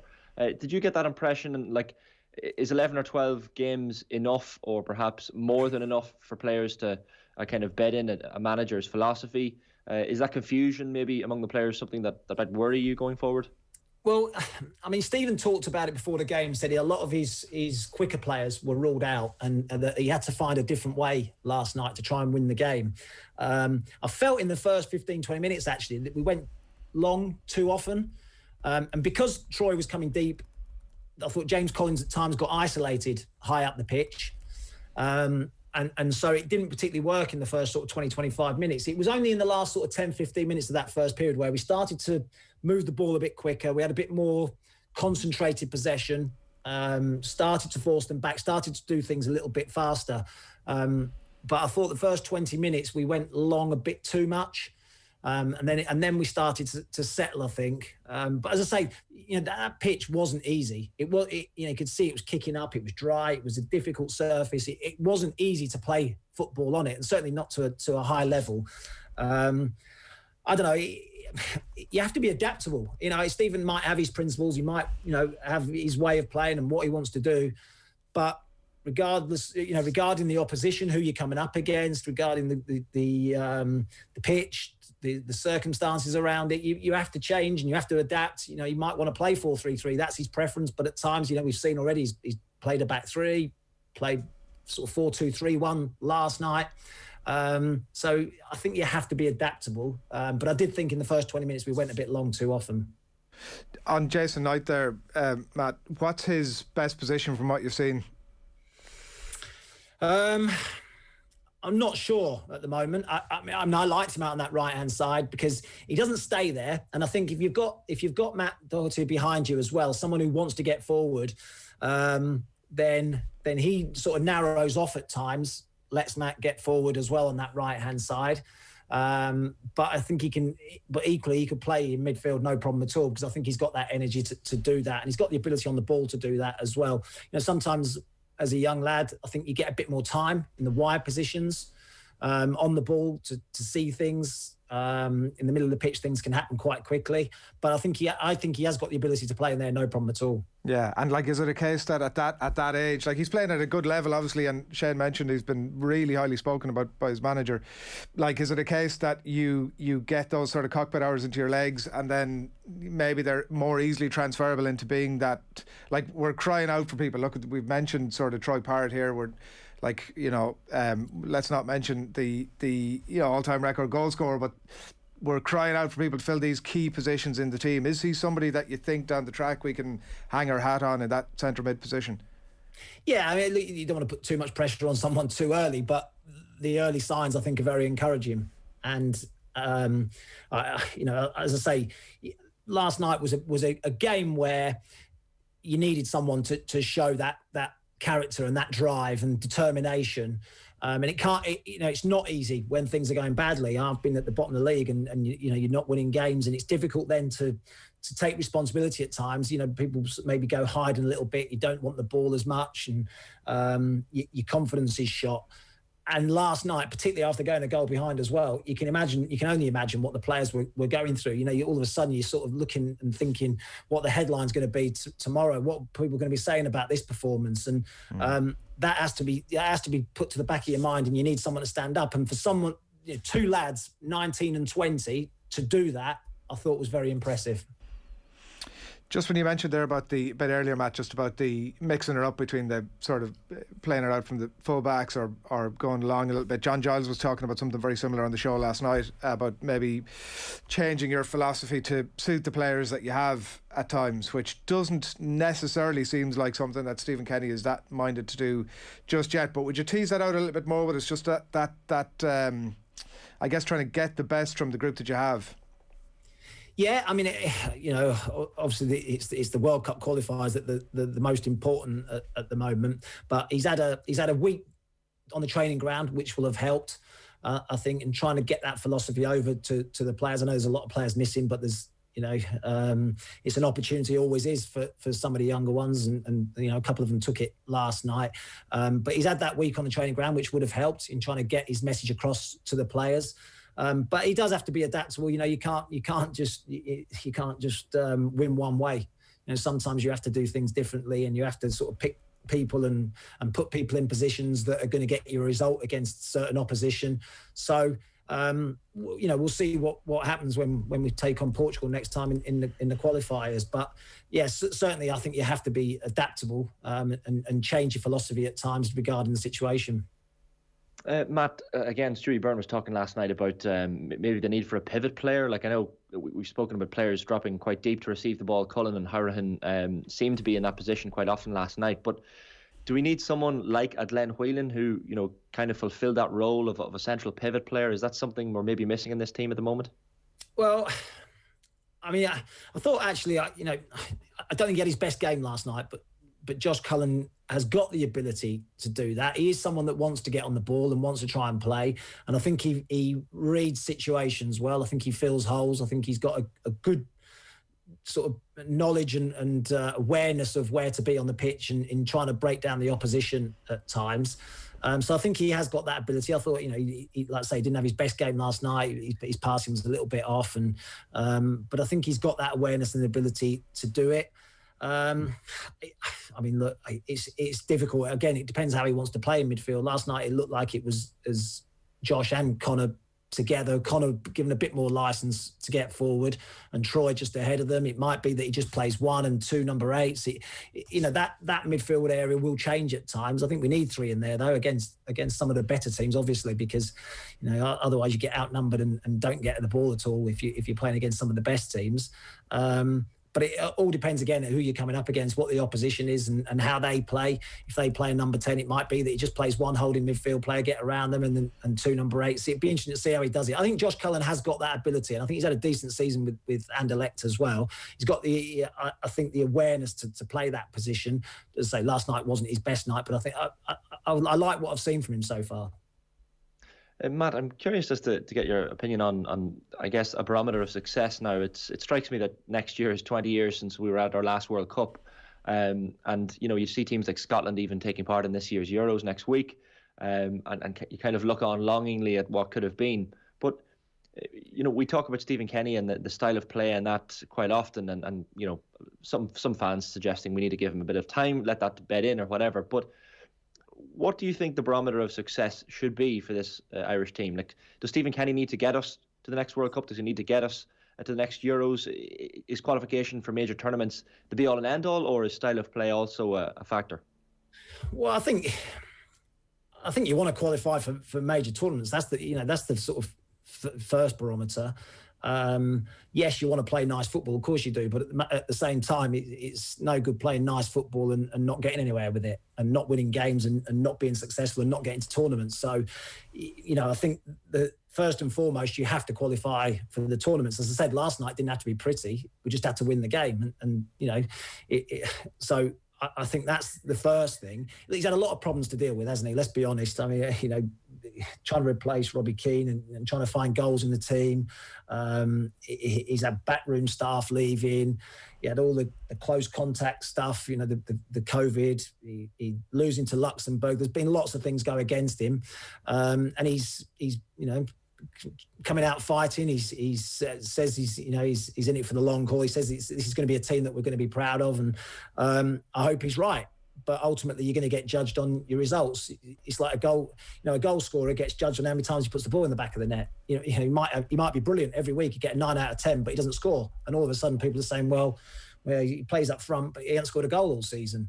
So it's it, it's got to be it's got to be results first. You know, you can play as well as you like, but if you don't win games, then um, you, you know you're going to be judged very very harshly on that. So ultimately, it's about it's about winning games, and that's that's the be all and end all, really. So qualifying for major tournaments, it's going to be difficult now, isn't it? After the, the start that we've made. Mm. Do you think is there like I, am sure everybody and I'm sure Stephen himself and and Keith and I'm sure the staff will be saying, listen, this is the game, and they'll be telling all the players, this is the the turning point for us now. Do you think it is? Well, it's got it's got to be a springboard. It's got. I think. he, I don't know whether it is or it isn't. We'll find out, won't we? I, I mean, you know, Hungary on Tuesday. See how that game goes, and, and you know, it's small blocks, small small little building blocks. Mm. You know, win a game, take it to the next one. Don't don't now back it up with a poor performance and a poor result. It's it's about building on what we've what, what, we've just done in this game. Build on the positives. Look at the things that we could have done better. Set piece delivery wasn't wasn't particularly good. I thought against a team that actually are susceptible to set pieces you know, I watched I watched Andorra's game against Hungary, and, and you know, I think they conceded two goals to headers and another one from a flick on. So they they um, they were a team that was susceptible to to set piece delivery, and we didn't get that right. So there's things that can be improved all the time. You look at that, but it's about building on, on some of the positives from from this game, and don't let it you know drop now against Hungary. It's important to back it up with another good result and a good performance. On the uh, the set pieces point on the Irish side, Stephen Kenny, we played a clip a bit earlier on where he was saying we didn't have a huge amount of time to work on the defensive set pieces bit. That we had four days only three of those were work days, and we were we chose to work on the creative stuff, which is fair enough. And I actually really admire the fact that he was so honest to come out and sort of address that. In your experience of of uh, international camps, Matt, when you're coming in like that, particularly into a brand new setup like that, is it is it unusual that he would say that the defensive set pieces wasn't like a, an immediate work on that they were sort of hanging back to to work on the other stuff first, or does that all make sense to you? Well, I think I think he would have thought about the opposition he was coming up against as well, and and thought right. that that Andorra perhaps aren't going to cause us too many problems and, and maybe not have too many set pieces. You know, I think if you if you're thinking about it, you know, playing Andorra, the likelihood is you're going to have more attacking set pieces than you are defending set pieces, and and that was the case. You know, we had a lot of you know opportunities from from free kicks and corners actually, um, and I don't think the delivery was great. Um, so I think I think you, he, if he has if he has to prioritise and you're going into a game against Andorra, I can totally understand him prioritising the attacking set pieces above the, above the defending ones. Yeah, it can be seen as uh, complacent or pragmatic, depending on your point of view. well, it, you know, we're looking at it in hindsight because we conceded one from a from a set piece. Yeah. So we're looking at it from that from that point of view. Um, if if people do their jobs, that that you know, and you know just go and attack the ball, then that that doesn't happen anyway. Um, so I, I, can I can certainly understand it from a from a point of view that against Andorra you're going to have more more in the attacking sense than the defending side. Uh, Matt, can I just ask you uh, about Patrick Bamford? And he, he's someone who uh, Stephen Kenny spoke about and was asked about in, in press conferences in the build up to the game last night. And uh, look, I'm not sure what uh, county uh, Patrick's grandparents are from, and he mightn't be as lucky as yourself to have a a granny from County Monaghan, the greatest county in Ireland, here where I'm speaking to you from. But uh, like we all know, he played that under 18s game 10 years ago or 11 years ago for Ireland. Uh, Mick McCarthy made an approach for Patrick Bamford, never materialised. Uh, are we at the stage now where the FAI should be doing everything in their power to, to try and convince him to come to, to Ireland, or do you think he's too close to getting into an England squad uh, in future to be to be a real, realistic possibility? Well, I, I, I think that the player has to want to play. That's the sim- that's the simple thing. Um, if he wants to play for Ireland, then he'll declare for Ireland, and and that's that's entirely up to up to him. Of course, you know Stephen will, will I'm sure have had conversations, and he, he, you know he would have been doing what he can to to convince Patrick to come and play. Um, but I think it's down to the individual and down to the player. So if he doesn't want to come and play, then you know don't come and play. Simple as that. It's not going to benefit as if you've got a player who doesn't really want to be there. So, I I personally am of the opinion that he has to really want to play, and um, and, and clearly at the moment that's not the case. Yeah, we'll watch that with interest. Matt, thanks a million.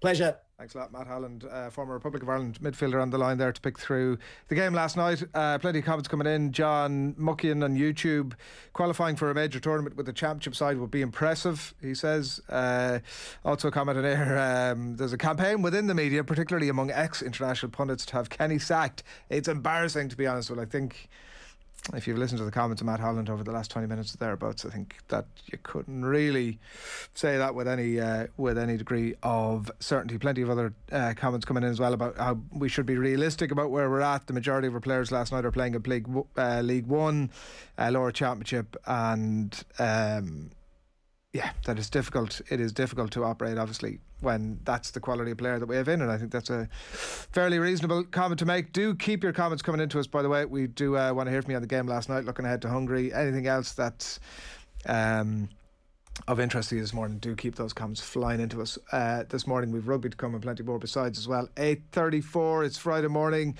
and uh, hope all's well with you wherever it is you're at this morning. Let's. Um, remind you that you're watching OTB AM, first of all, live in association with Gillette. Good mornings start with Gillette, giving you the confidence to tackle the day ahead. Now, episode four of The Brilliant, the football pod, with Paddy, and uh, Paddy Andrews and Andy Moran and, Tommy, now available to listen on podcast. You're going to get it uh, if you subscribe to OTB GAA, uh, wherever it is you pick up your podcast, or if you search the football pod with Paddy and Andy. Uh, before picking their best 15 from the league so far, the lads got talking about their own soccer careers in the in the soccer dressing room, I remember I, I so this only happened about twice, but I, I, was called into the senior squad twice for Longford the time I was there, and you had to come in a suit. You probably remember this from Monaghan, Paddy. You had to come in a suit. yeah, all like here. Louis Kaufman, Roddy Collins. I, am a tracksuits man. Like, I'm a tracksuits. Yeah, I'm a tracksuits man all day long, right? So you're this dressing room like it's full of dubs, and I, I go down to this shop in Longford. I say I need a suit, and they go, "What?" You? I said I need to play with the boys. So he said they're all wearing this. So I wear these grey slacks that could only be described as flares, right? Lovely. I, Sounds I wear, good. Wait till this, Paddy. Wait till this. I'm still mortified about it, but I wear a black shirt and I wear a white tie.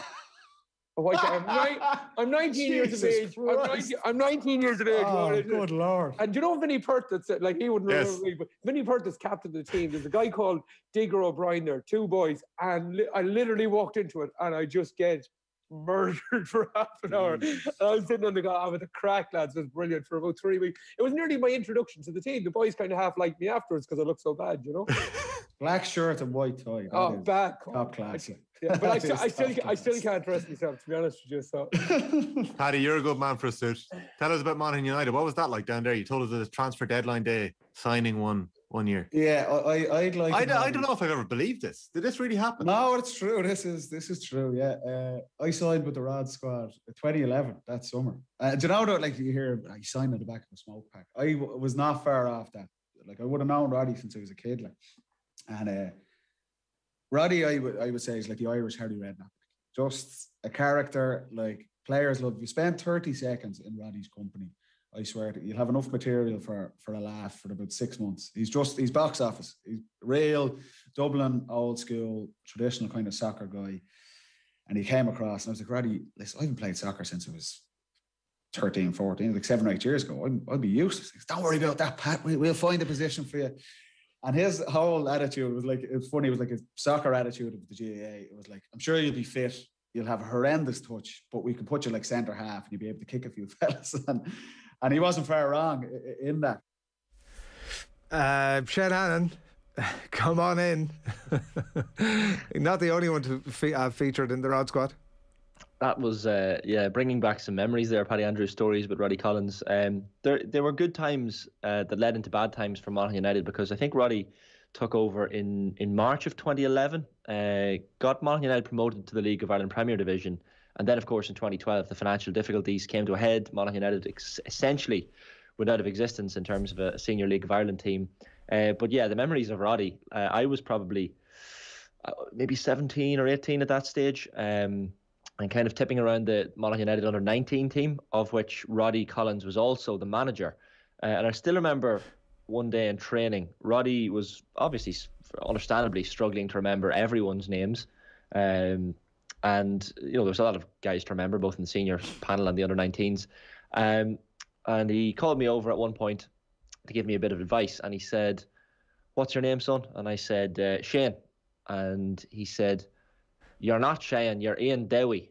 and I remember thinking, Ian Dowie. And I knew who Ian Dowie, Dowie was at that point, and it certainly wasn't a flattering comparison. So every time I got the ball, every time Roddy wanted to say something to me from that point on, he just called me Dowie, um, which got a bit of a laugh from the other uh, from my other teammates. It was Well, it was uh, your playing style, Shane. I'm sure it was nothing to do with. The, Maybe, maybe, but like as Paddy Andrews said there, he's he's the Irish Harry Redknapp. He's a character. He's someone who, uh, you know, there's never a dull moment. And like when you saw Roddy rolling up to Gortakeegan uh, to the Monaghan United pitch for training for a match, there was just an aura, an aura about him that uh, that grabbed your attention. Now look, it was it was a, a mildly successful time. I think his son Roddy Collins Jr. was part of his, his team as well. There was a bit of nepotism there. Roddy was a good player though. Uh, made his debut in the, the what was the EA Sports Cup under his dad. Um, but yeah, fond enough memories of Roddy Collins, you- except for the fact that I, I look like Ian Dowie apparently. were Were you Ian Dowie? Were you the big lad up front with his back to goal that would sort of make everybody else around him look good? I mean, Ian Dowie. It wa- was I was, making like- everybody look good, obviously, but in a playing sense. yeah, like I was the tall striker, um, but I, like in my head, I was only being called Dowie because of uh, what he saw as visual similarities between Oof. myself and Ian Dowie. Oh, Which, that is harsh. do you know, that's that's very like That's if someone harsh. wants to, to grab a side to side and, and, and send it on to me later, I'm not. Um, I I wouldn't be too happy to be compared to Ian Dowie, but look, I'm sure Ian Dowie's a lovely man and uh, he's aged quite gracefully. So, uh, yeah, Roddy, I'm, Roddy, I'm sure had had worse nicknames for other people, so I can't really complain. We'll have to get Roddy on one time and ask him about uh, whether he remembers the Monaghan Ian Dowie. This is, uh, this is quite the development this morning. Um, right, it is coming up on 20 to 9. We've loads still to come. We're going to talk to Alan Quinlan in just a few minutes' time, um, including the news this morning that will bring you um, uh, rumours, at least anyway, on the back page of the Examiner. So plenty to come. It is time for the papers. Do keep your comments coming into us. We're going to let you know what's happening first of all on OTBSports.com. This is the very sad news about the former Arsenal and West Brom keeper Alan Miller, who's passed away at just the age of 51. Also up on the website this morning, John Giles' thoughts. He was on for the full football show with Nathan last night. He had his plenty of thoughts on the game last night, um, and also picking his team of the year and uh, other bits and bobs as well. That's up there. Uh, Troy Parrott's reaction to the game last night, and plenty more as well from the football yesterday evening. Now, on the back pages, uh, the Examiner, I mentioned the story here. It's the splash across the top. Ryan said for coaching role with O'Gara at La Rochelle. So Donnacha Ryan, uh, Racing 92 player, former Ireland second row, former Munster second row, obviously, um, as well. And uh, he could be off to La Rochelle to join the coaching ticket there, just the age of 37. Get Alan Quinlan's thoughts on that in just a few minutes' time. Rescue Act could be Kenny's turning point or stay of execution is the other uh, line there from uh, the Examiner, David Sneyd writing. In my opinion, people should be excited, is a quote there from Troy Parrott. Uh, Parrott saves Ireland's blushes, writes Gavin Cummiskey in the Irish Times this morning. As you can see, a delighted uh, striker and manager on the uh, front page of the sports section there in the Times. Uh, Kenny relieved to notch first victory as Ireland manager, and the player ratings along the side there as well. Uh, there's lots of puns on Troy Parrott's name this morning. Uh, none, nobody has managed to go with "Who's a Pretty Boy" then, which is um, which is astonishing to me. But Kenny gets buzz from Troy's story is one that you're going to hear a bit of in the next couple of minutes. Uh, Philip Quinn on that 4 1 win for Ireland last night. Uh, McGuinness Tyrone not good enough to win Sam, writes Michael Clifford there. Uh, the Irish Independent, Irish saviour Troy will only get better, insists Kenny. That photograph there again of the two of them being pretty delighted. Uh, Dubs the most defensive team in the game. For anybody who was watching or uh, chat with Jim McGuinness a bit earlier on, his prophecy that that would be the headline uh, has certainly come through uh, through this morning because it's on most of the back pages here. Uh, perfect 10, the Irish Daily Star. Uh, Kenny hails two goal hero, Parrott. Cash could tempt Conte, writes John Cross. And Dean aiming to rock and roll. That's uh, the news that Dean Rock, as well as uh, Cian O'Sullivan, both hoping to get back for the Dubs sometime very soon. In the Herald, Troy will get better, says Kenny. Dublin, the most defensive team in the country, says Jim McGuinness there, as the uh, supplements fall out here. The Sun, now this is a good one. Buzz light here as Kenny gets his first win thanks to Troy 2. Troy Story 2. Troy 2 story. try Story 2. It's a good one. That's uh, Owen Cowser's thoughts inside there. And uh, Spurs lineup move for Conte. Uh, Troy, Troy again is the Mur. If at first uh, you don't succeed, Troy, Troy again. Uh, Parrott Brace helps save Irish blushes in the Pyrenees. And uh, The Guardian, Alexander Arnold uh, ruled out after tearing thigh muscle. That's the main news there. And an interesting one here as well the England Wales Cricket Board to firm up social media uh, diligence after Twitter storm, including the line that uh, Ollie Robinson who is set for a punishment after the discovery of um, old and offensive and embarrassing tweets, as they're described here. Uh, it says he's likely to be the last player to make his full international debut without anyone having sifted through historic social media posts in search of potential embarrassment. So it looks like that is going to be a thing from here on out, in that uh, people are going to. Um, it's it seems Shane like a wise and smart thing to do. That's obviously in the the in the cricket. Like it's you know at what age do you go back to kids and go here? You might make it as a professional sports people. Like ideally, people aren't sending stuff that are that as described here both uh, offensive and embarrassing. Um, and it happens, and that's the unfortunate side of it. But it does seem like a smart thing to do. That uh, you know, it'll probably happen at all levels of all sports. You would think at some point soon. Sorry, say the say the story again, Adrian. I so this the, is this is just in relation to the um, England uh, cricketer Ollie Robinson, who's yeah, um, he's got to pick up some type of punishment TBC for tweets that have been described as offensive and embarrassing, and they're going to now. Uh, it looks like he's going to be the last player, certainly in terms of England cricket, that's going to line out at international level who won't have had somebody in a back office sifting through all their tweets and social posts and making sure It's- there's nothing in there of those of that variety. it is a strange one, and people kind of when they get to a certain level of, I guess, uh, fame, they need to maybe take a little dig back through their social media accounts. They probably shouldn't tweet uh, bad things uh, from the outset, but certainly if you get to a certain level of of uh, fame or notoriety, you need to you need to have a look over your social media accounts. I know that we had the incident. Was it? Um, uh, Joe Hart or someone had the the tweet. Well, it was Joe Hart, so, you know, claiming someone from his account had sent a tweet um, after a match a couple of months ago. Like players need to just take control of their social media. Uh, tweet yourself. Like we even have Roy Keane on Instagram at the moment, and I like I don't know if Roy puts these posts up himself or if he gets someone to do it for him. But uh, it's it's an area where I guess if players just take responsibility for it, if sports people take responsibility for their own output in social media, I mean they only have themselves to be responsible for. Then like. Uh, putting that on someone else is, is, is quite a difficult thing to do, I would say. Yeah, so yeah, this this Robinson story certainly brings it into to the, to the It forefront, does, I guess. Again. and, and the difficulty is that even, I mean, I think when it gets to a point where it's clear that they're destined for the big time, that Mm. probably most, not all, but most uh, kids growing up will at that point sort of obviously maybe be advised in the first instance and uh, in the second instance have enough cop on to know not to do it but it'll be the stuff that's cropped up before that that um, that is potentially there to uh, to to trip them up. I mean as I said ideally this stuff hasn't been sent to begin with if it's uh, ticking both of those categories of being offensive and embarrassing. Um, other stuff that's cropping up across the pages today in the Times of London injury forces Trent to pull out of the Euros. This is obviously a big story in English football uh, over the last 24 hours, and it just we're waiting now to see who's going to be called up in his place and all sorts of will they will they call up a like for like? Will they call up um, somebody like uh, Ollie Watkins or somebody in an entirely different position. We'll see what Gareth Southgate, which way he goes over the next while. Uh, England debate taking a knee, writes Paul Joyce here. It's also a theme that's picked up in the Telegraph this morning. England could stop uh, taking the knee, and it's an interesting, nuanced conversation that I think there's always a right time to discuss it. This is Jason Burton, Ben Rumsby writing here. Southgate to ask squad if they want to continue after fans boo calls for the FA to take action as fears grow of repeat at the Euros, and maybe they're just two entirely different topics.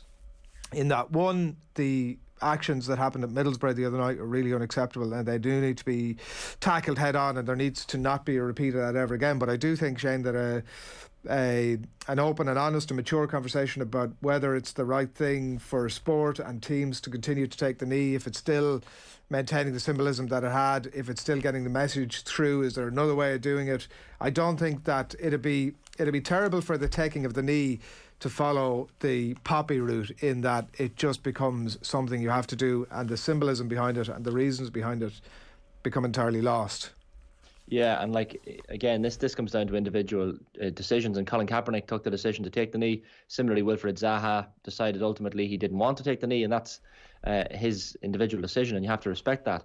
Um, when you when you hear the other the other day, uh, those boos ringing out around the stadium, um, and I think the commentator at the time, uh, you know, remarked at how loud the boos were, and luckily they were drowned out by applause. You know, five or six seconds later, thankfully, but.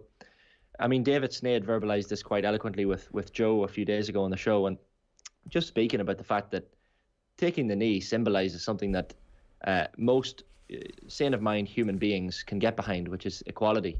Um, and anyone who, who, who boos at the, the, the prospect or the thought of equality uh, is someone essentially not worth speaking about. And when David said that, it struck a chord with me. I'm sure it struck a chord with other people as well because that's exactly what, what you have to think about. It, like I remember the Bulgaria match as well when England went over there and you had the monkey chance and, and just racism left, right, and centre in, in the crowd. Um, and you feel like it's it's all too pertinent these days. And you know, if we fail to, to learn from our history and to learn from learn from our past, then I don't know where we're going to head. But uh, to, to look back in 10, 20 years' time and think that you know fans would actually, so-called fans would actually boo something uh, as as nice as the taking the stand against racism and taking the knee, uh, shocking and abysmal and uh, you know abhorrent behaviour. Yeah, and uh, totally take your point, but I would say that we should talk about them and we should talk to them and we should try and understand it and we should try and figure a way out of it that way. I think it's really the only way to get out of it. It's um, as you say, it's apparent behaviour and to just need to talk more about it. Actually, I think, but look at it. Take, mm. so, certainly take your point on it. Ten to nine on this Friday morning, uh, rugby in just a moment. But a reminder first of all that Let's Go Back to is a film and TV podcast. You'll have heard about it during the week uh, here in the show. It's from the Go Loud original network. It's presented by Off the Ball duo, uh, dynamic duo Owen Sheehan and uh, Sue Murphy. Special guests as well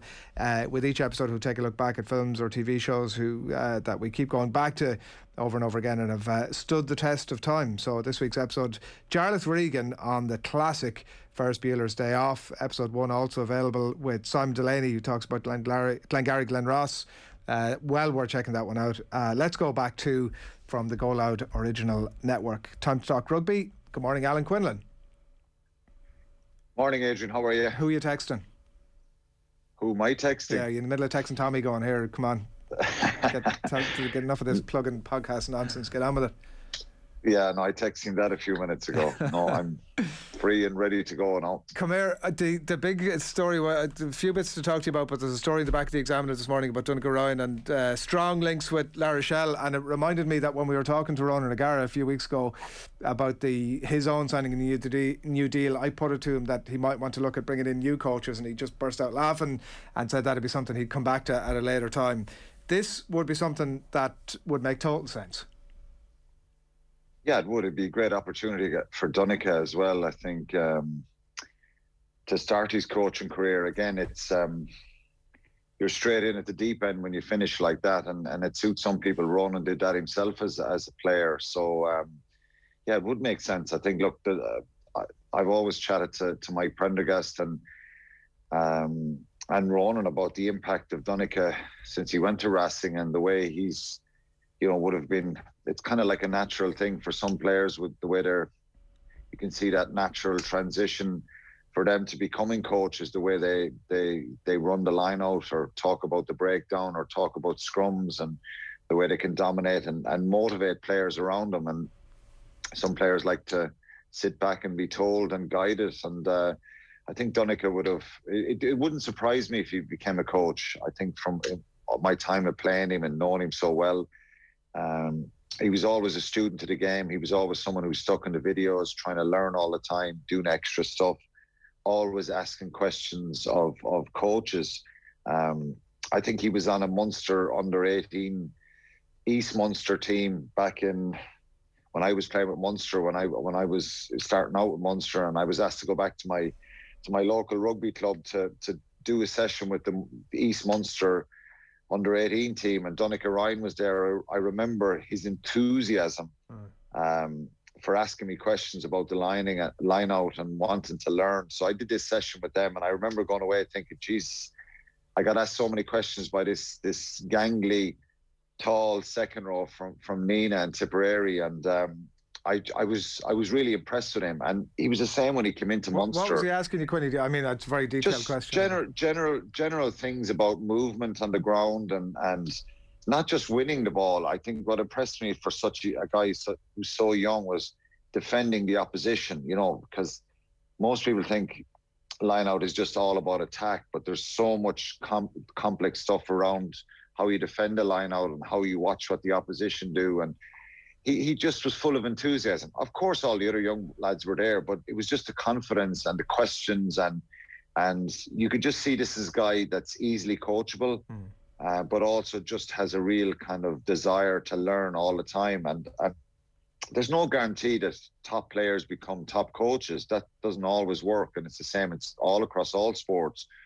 But I think it helps when you have a real kind of energy and enthusiasm to keep learning and that you're always studying the game. And, and Donnacha was like that. He was mm. always studying the game and trying to get better. And then he became very good in the latter years of playing with Munster. He would have been a little bit quieter, obviously, when you have Paul O'Connell and Donnacha O'Callaghan as your mainstay second rows who were top class internationals and, and British and Irish Lions and, you know, people who were performing at, at a high level. And, you know, he's in the background, and Mick O'Driscoll is there as well. So you know, he would have been quiet in the earlier years, but as he started to develop and get more confidence, you know, you're coming up against the Donnacha Ryan.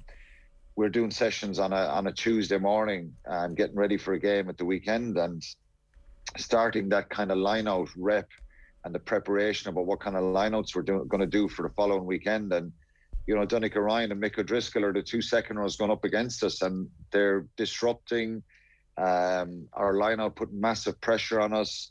And all that enthusiasm that I saw as an 18 year old is now there as a big physical, big imposing second row and back row as well, because he could play in the back row as well. And, you know, he always impressed me like that, Donnacha. So the point is, I think he impressed in, in Racing. Yeah. We've always had these conversations about, you know, what do Irish players bring to to the coaching setups as as as coaches and as players, and it's that bit of extra detail that sometimes is not.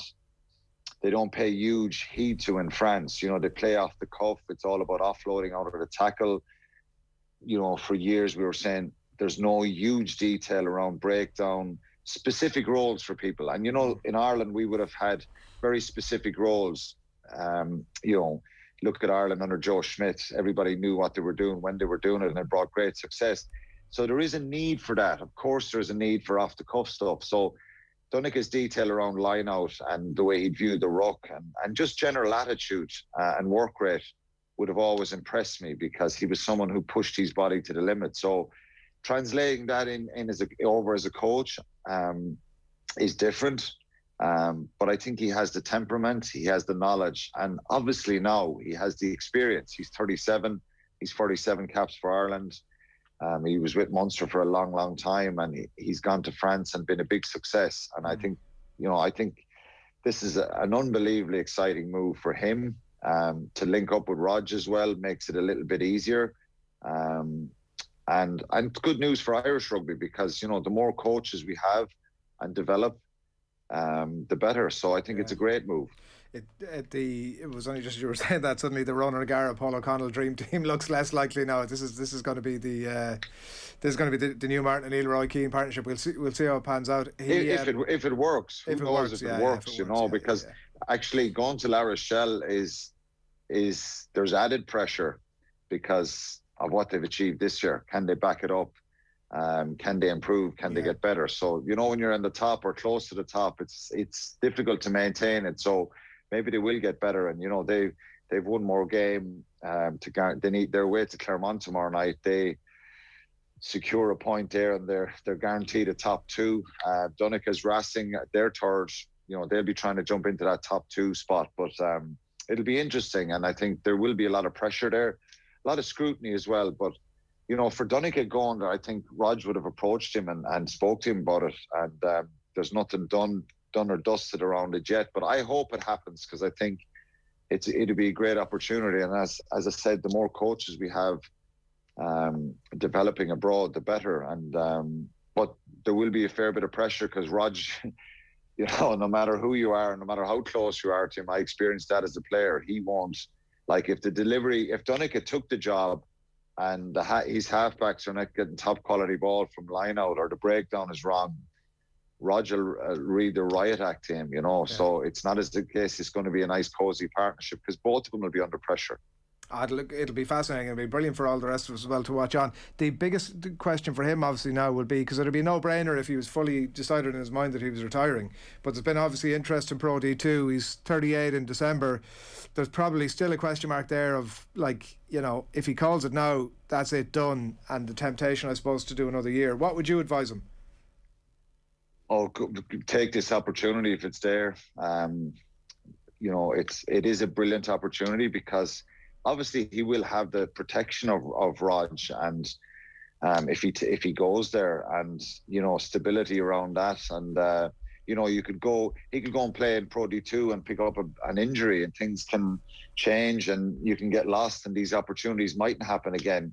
Um, so when these opportunities happen, you know you've got to go from. I, I think he should go for it. I think I think he'd be a great coach. I'd be I'd be enthused genuinely, and I'm not just saying this because I'd be friends with and he's a tip man and I played with him, but I, I, he's the kind of fellow who just brings an energy and a real enthusiasm around, um, you know, his presence, and I think he would have learned a lot of Paul as well. You know, Paul is probably trained a lot of these guys around the line out over the years, the way he had to learn himself. Um, I always tell Paul he learned from me about the line out. He doesn't really give me any credit for that, but um, obviously, you know, Paul was a different level, and you know, he's he's um, you know doing well with Ireland now. Um, but things can change very quickly. It's all results based, no matter how good you are as a coach. But I, I think Donnacha should take this. Um, it's it's down to a personal choice, Adrian. You know, does he want to go into coaching? Does he want that pressure? Your day starts a little bit earlier as a coach, and it finishes a bit later, and uh, you're continuously watching and monitoring stuff and meetings about meetings about meetings. So it's different. You know, you have to have the desire for that. Yeah, I, I remember being sat beside him for a game against it might have been the All Blacks at the Aviva a couple of years ago, and he just chatted all the way through the game to the point at one stage he turned around and he said, you, "Will I will I just stop talking?" And obviously I was saying, and, and that's keep, that's the way he is. He this just... is unbelievable stuff. He was he was picking. There was like an overthrow, an All Blacks overthrow, if I remember rightly, at a line, line out, and he picked he had picked apart like that straight away afterwards could tell yeah. me exactly sort of to my untrained eye hadn't a clue what was going on but exactly why it came about what they were trying to get out of it. Incredible mind really. What in terms of his role um, Quinny what is it would be it seems like according to the examiner um, forwards and defence sort of thing yeah, I spoke to Ronan earlier in the week, and um, you know we didn't get into this, but I know he was looking in the last couple of weeks that there's a couple of changes. Their forwards coach is gone, John O'Gibbs is gone, so I think he's he's in his mind he wants to be kind of manager uh, and then have assistant coaches, uh, three assistant coaches, and I mm. think so. But obviously, if, if Donnacha could come in, he'd be an assistant coach, but really with a view of running line out and uh, and breakdown. Um, but I know the way he talks about it. He doesn't want to pigeonhole someone into a specific role. The way you have defense coach, forwards coach, backs yeah. coach, all this kind of stuff. The game is all encompassing now, and and that's the way he views it. Um, so like there'll be certain stuff that you know that Donnacha will take from Joe Schmidt, um, which is is invaluable experience. You know, the stuff he would have learned from Joe, the stuff he would have learned from Paul as a player, different coaches in Munster, um, Declan Kidney, Tony McGahan, um, he's coaches in France as well. So you try and couple all that experience, but and and, and add to that, and and then you've got to manage players. So look, the reality is, I think Donnacha. What impressed me most about Donnacha was the line-out work, that the way he improved, particularly around those defensive pieces that we were doing. Mm. You know, like me being going, Jesus, these guys are wrecking our heads here because they're getting up, they're robbing our ball, they're stealing our lineouts here, and I just saw such an improvement in Donnacha over the years in in, in his work defensively and and have an ability to call a lineout. So, you know, there's always room to improve, no matter who you have and how good you are. Week on week, you've got to keep evolving with lineouts and you know set a template around breakdown and bring some new ideas. So I think it's it's going to be, you know, if he gets involved there, it'll be lineout and breakdown. Quinny, can I just ask you? Um, there were some interesting tidbits out of David Nucifora during the week, um, and look, he dropped a bit of a bit of a hint that maybe he will leave his position as IRFU high performance director uh, when that contract expires next season. Um, and I know his family relocated to back to Australia during the pandemic, but uh, d- different reports kind of suggesting maybe uh, the stage could be set for, for Joe Schmidt's uh, return in that guise. Uh, how do you see that as a, as a potential option? Would would Schmidt uh, I guess, fit that role perfectly in your view?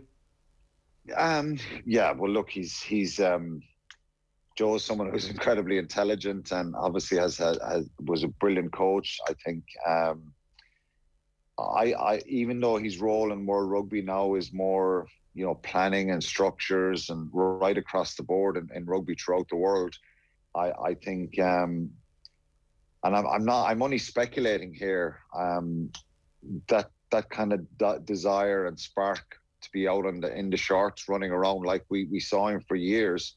Um, you know, even in the warm ups, I, I was always watching out for Joe Schmidt running around, uh, being so actively involved in, in, in, in the warm ups before big internationals, where a lot of head coaches, you'd see him back with the arms folded 20, 30 yards away from the players, and then the specific coaches doing the warm ups and stuff like that.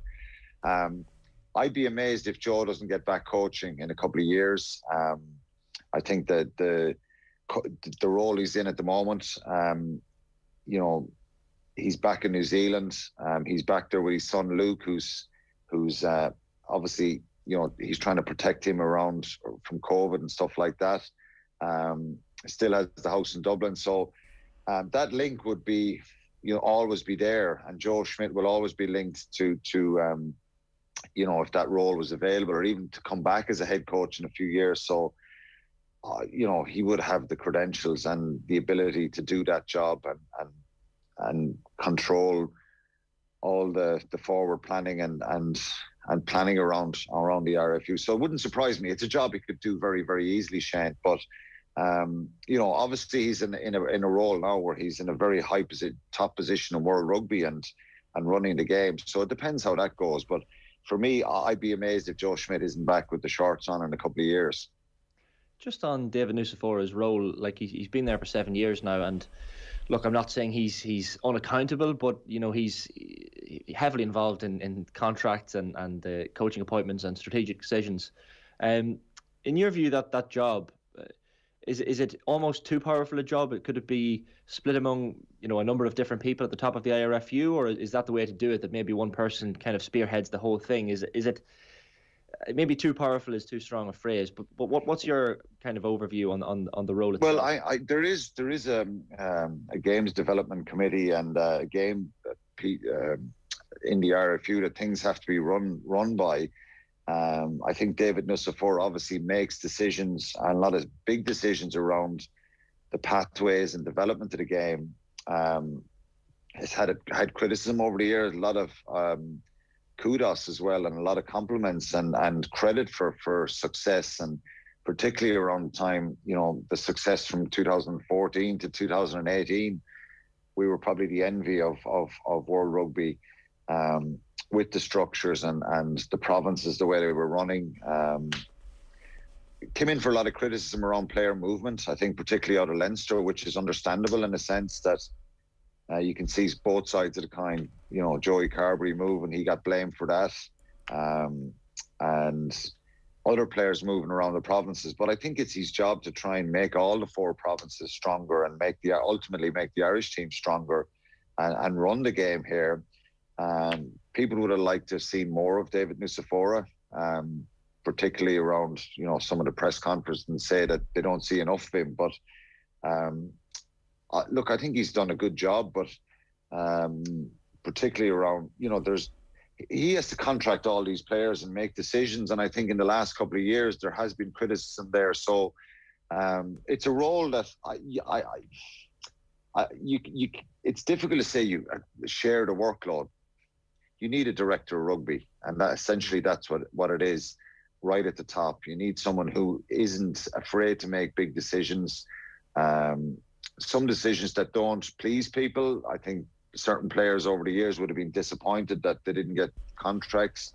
Um, some of the player movements, stuff like that. But I think you need someone, and I think he's done a good job. Uh, as I said a couple of years ago, um, you know, he was getting massive credit. I think there is issues, uh, and there's always going to be issues continually in a job like that. But um, it'll be interesting to see if he stays on. He was kind of hinting the other day that he may not. He may go back to Australia, and um, you know, I suppose it's. I, I, I don't see the role changing, um, because of it depends what the provinces and what they feed back in as well.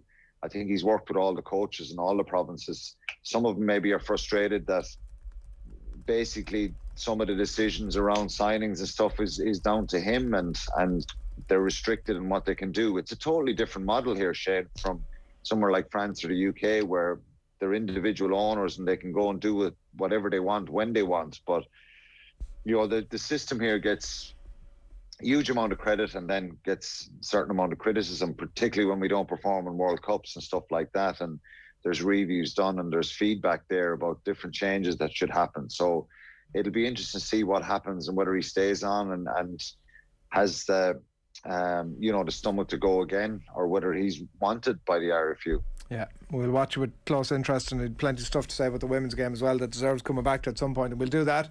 But for now, Alan Quinlan, thanks a million. Cheers. Thanks, lads. Now, I think uh, we're going to look ahead to the weekend. Shane, what's on the menu? Nobody better to have with us this morning than to walk us through it. Yeah, loads, loads. Like it's it's uh, a big hurling weekend. I know a lot of people uh, are trying to get excited for the Allianz Hurling Leagues, but uh, we will have reporters. Tadhg Fogarty's going to be at Kilkenny Laois on Sunday for us, and uh, James Skehill, the former Galway goalkeeper, who's kind of found his uh, found his feet with the punditry as well this year. He's going to be at Galway Waterford, which is 3:45 on Sunday. Paper review as well. Kieran O'Reilly and uh, Cliona Foley alongside Neil Tracy for that one. Uh, and loads more good stuff as well across the day on Sunday. And then on Saturday, we have uh, a nice Paddy Power Euros football special. Uh, panel David Myler and Richard Dunne are going to be joining John Duggan.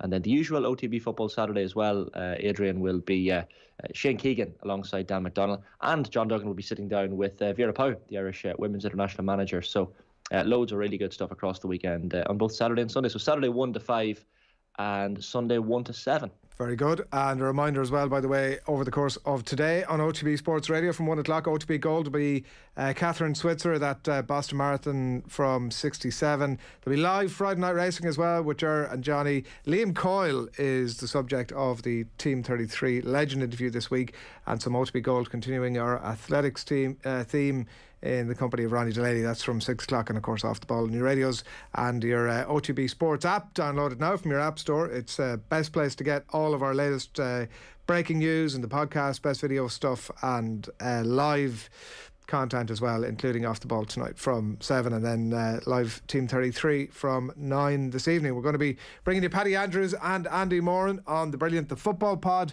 uh, very shortly, about 20 minutes thereabouts. But back after these with the Considine sisters, Ailish and Eimear, in conversation with Shane. OTB AM.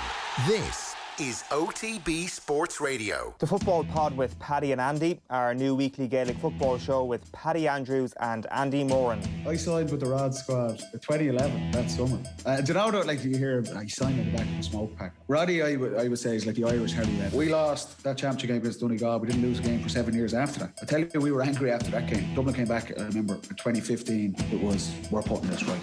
Download the OTB Sports app and subscribe to the GAA podcast feed now.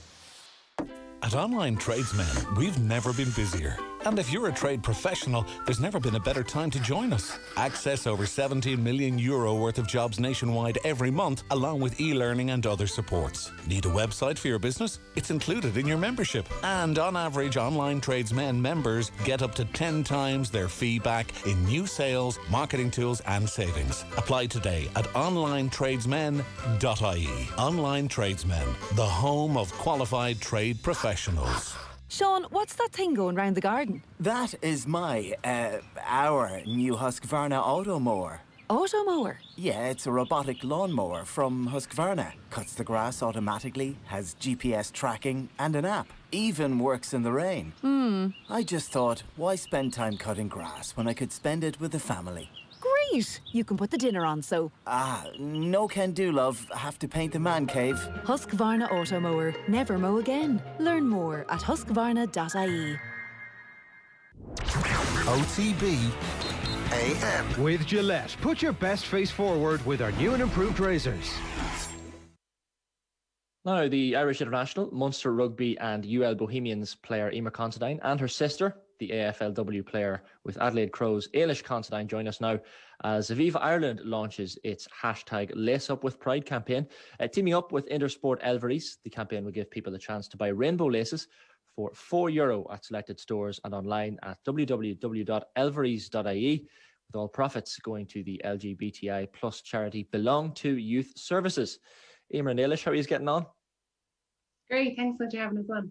Good. Absolutely, absolute pleasure. Uh, Ailish, I have to start with you. Um, this concussion in Sydney back in February. Uh, I know it was was quite a scary moment, I'm sure, for yourself and for your family as well. And and you know, just a few weeks after Bríd Stack had had her a horrific injury, your own teammate. But uh, what are your memories of, of, of that day now back in February? And and I guess more importantly, how are how are you now? Yeah, um, now I'm good, thank God. No no side effects from from the injury, thank God. Um, I've been fortunate enough not to have had any um, concussions in sport before, so it was probably my first major one. Um, to be honest, when people ask me about it, I'm like, I actually don't remember very much of the the incident itself.